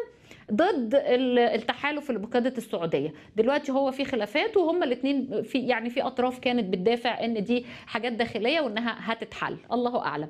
برضو حاجة مهمة جدا إنه في إطار الأمراء والمسؤولين السعوديين اللي محتجزين في فندق الريدز كارلتون كان آه، أعلن إنه لو حصل تسوية هيتم آه، الإفراج عنهم. وبالفعل سمعنا عن أكتر من حد عمل تسوية. كان في آه، آه، التسوية الأولى اللي تحدثوا عنها اللي هي كانت التسوية الخاصة آه، آه، آه، بن عبد العزيز ودلوقتي برضو في الوليد بن طلال وكان بيقول إن هو كشف بين إن هو يعني لغز جديد كان بيقول يريد يزيد القضية غموما ماذا حدث قبل القبض على الوليد بن طلال؟ وبرضو نفى الملياردير كل التهم الموجهة ليه مطالبا بتعيين شركات تدقيق مالية عالمية. لكي تتحقق من أصول الأموال ومصادرها. ومن الواضح لكن في تسوية حصلت مع بعض الأمراء بيقال جنت منه السعودية مليارات من الدولارات ومستمرة في هذا آه، الأمر. ده يمكن من الحاجات برضو المهمة اللي أطلق سراحه بالفعل. قالوا أنباء يعني وبيقولوا إن هو أطلق سراحه الأمير متعب بن عبد الله آه، بن آه، يعني ده كان من هو اللي هو من الأسرة كانت طبعا بن عبد العزيز اللي هو من الأسرة المالكة يعني وقال إن هو برضو اداهم مليار دولار عشان التسوية. وآخرين يعني في برضو آخرين في هذا آه، آه، الأمر. آه، فرنسا الحقيقة برضو عملت مفاجأة وقالت إن هي هتسلم السعودية قائمة بمنظمات إسلامية متطرفة وقالوا إن المنظمات دي بتمولها السعودية. ومن هنا قال لك الله السعودية مش بتحارب الإرهاب كيف تحارب الإرهاب؟ وهي تمول جماعات إرهابية. فده اللي قاله الرئيس إيمانويل قال إن حكومته بتعد قائمة عشان تسلمها للسعودية علشان خاطر آه، تتوقف السعودية عن تمويل هذه الجهات على اعتبارها إن هي آه، منظمات إسلامية آه، متطرفة. برضو السعودية بتتغير يا جماعة. كان في حفل لياني ال- الموسيقي المعروف المغني المعروف يعني وده أول مرة يكون في حفل لمغني مشهور في مدينة جدة في السعودية. وطبعا إنه واضح إن في أحداث غير مسبوقة بتحدث فعلا في السعودية. آه، برضو قطر فيها أمور ولكن يمكن عشان بس آه، يعني آه، أقول لحضراتكم إن إحنا كانت بالنسبة ل آه، برضو كانت من الحاجات اللي لفتت النظر إنه بعد ما دونالد ترامب كان كتب التغريدات على موقع آه، كان نشر إعادة نشر فيديوهات على موقعه. الفيديوهات دي آه، آه، أعاد نشرها من واحدة من اليمين المتطرف في بريطانيا. فكان في ردود فعل من آه، رئيسة الوزراء البريطانية انتقدت دونالد ترامب. رد الرئيس الأمريكي بقى دونالد ترامب بغضب على رئيسة الوزراء البريطانية اللي انتقدته بسبب إعادة نشر مقاطع معاديه للإسلاميين وبتقول بيقول لها إيه؟ بيقول لها ما تركزيش معايا ركزي على ال destructive يعني اللي هو الإرهاب الإسلامي المتشدد اللي بيهدم بيهدم آه، بريطانيا. وقال لها إحنا إحنا كويسين. We are doing just fine يعني بيقول لها خلي بالك الإرهاب الإسلامي المتشدد اللي عندك في بريطانيا اللي بيهدد بريطانيا. وبالفعل على فكرة كان في تقارير كتيرة قوي إنه تنامي المجموعات الإرهابية في في بريطانيا بشكل آه، كبير جدا. آه، كان في حادث طعن استهدف عمدة مدينة آه، ألمانية وبيدعم استقبال اللاجئين. ده برضو بيوضح ان كمان ألمانيا في نوع من أنواع يعني الاعتراض على سياسة برضو أنجيلا ميركل وبرضو داخليا سياسيا في ألمانيا في أمور كتيرة. بالفعل حلقتنا مش بتكفي إن إحنا نقول لكم كل حاجة لكن إن شاء الله هيكون هنكون معاكم أحداث أخرى لأن الأحداث كتيرة جدا جدا. آه، نتمنى يا رب الخير والسلام في كل هذه الأيام. بالنسبة لكل الدول الأوروبية وإن ربنا يبطل مشورة هؤلاء الأشرار آه، داعش ومن على آه، يعني على شاكلتهم. وإن شاء الله يا رب خير ونلقاكم على خير إن شاء الله الأسبوع القادم والجديد والمزيد. وما وراء الأحداث. إلى اللقاء.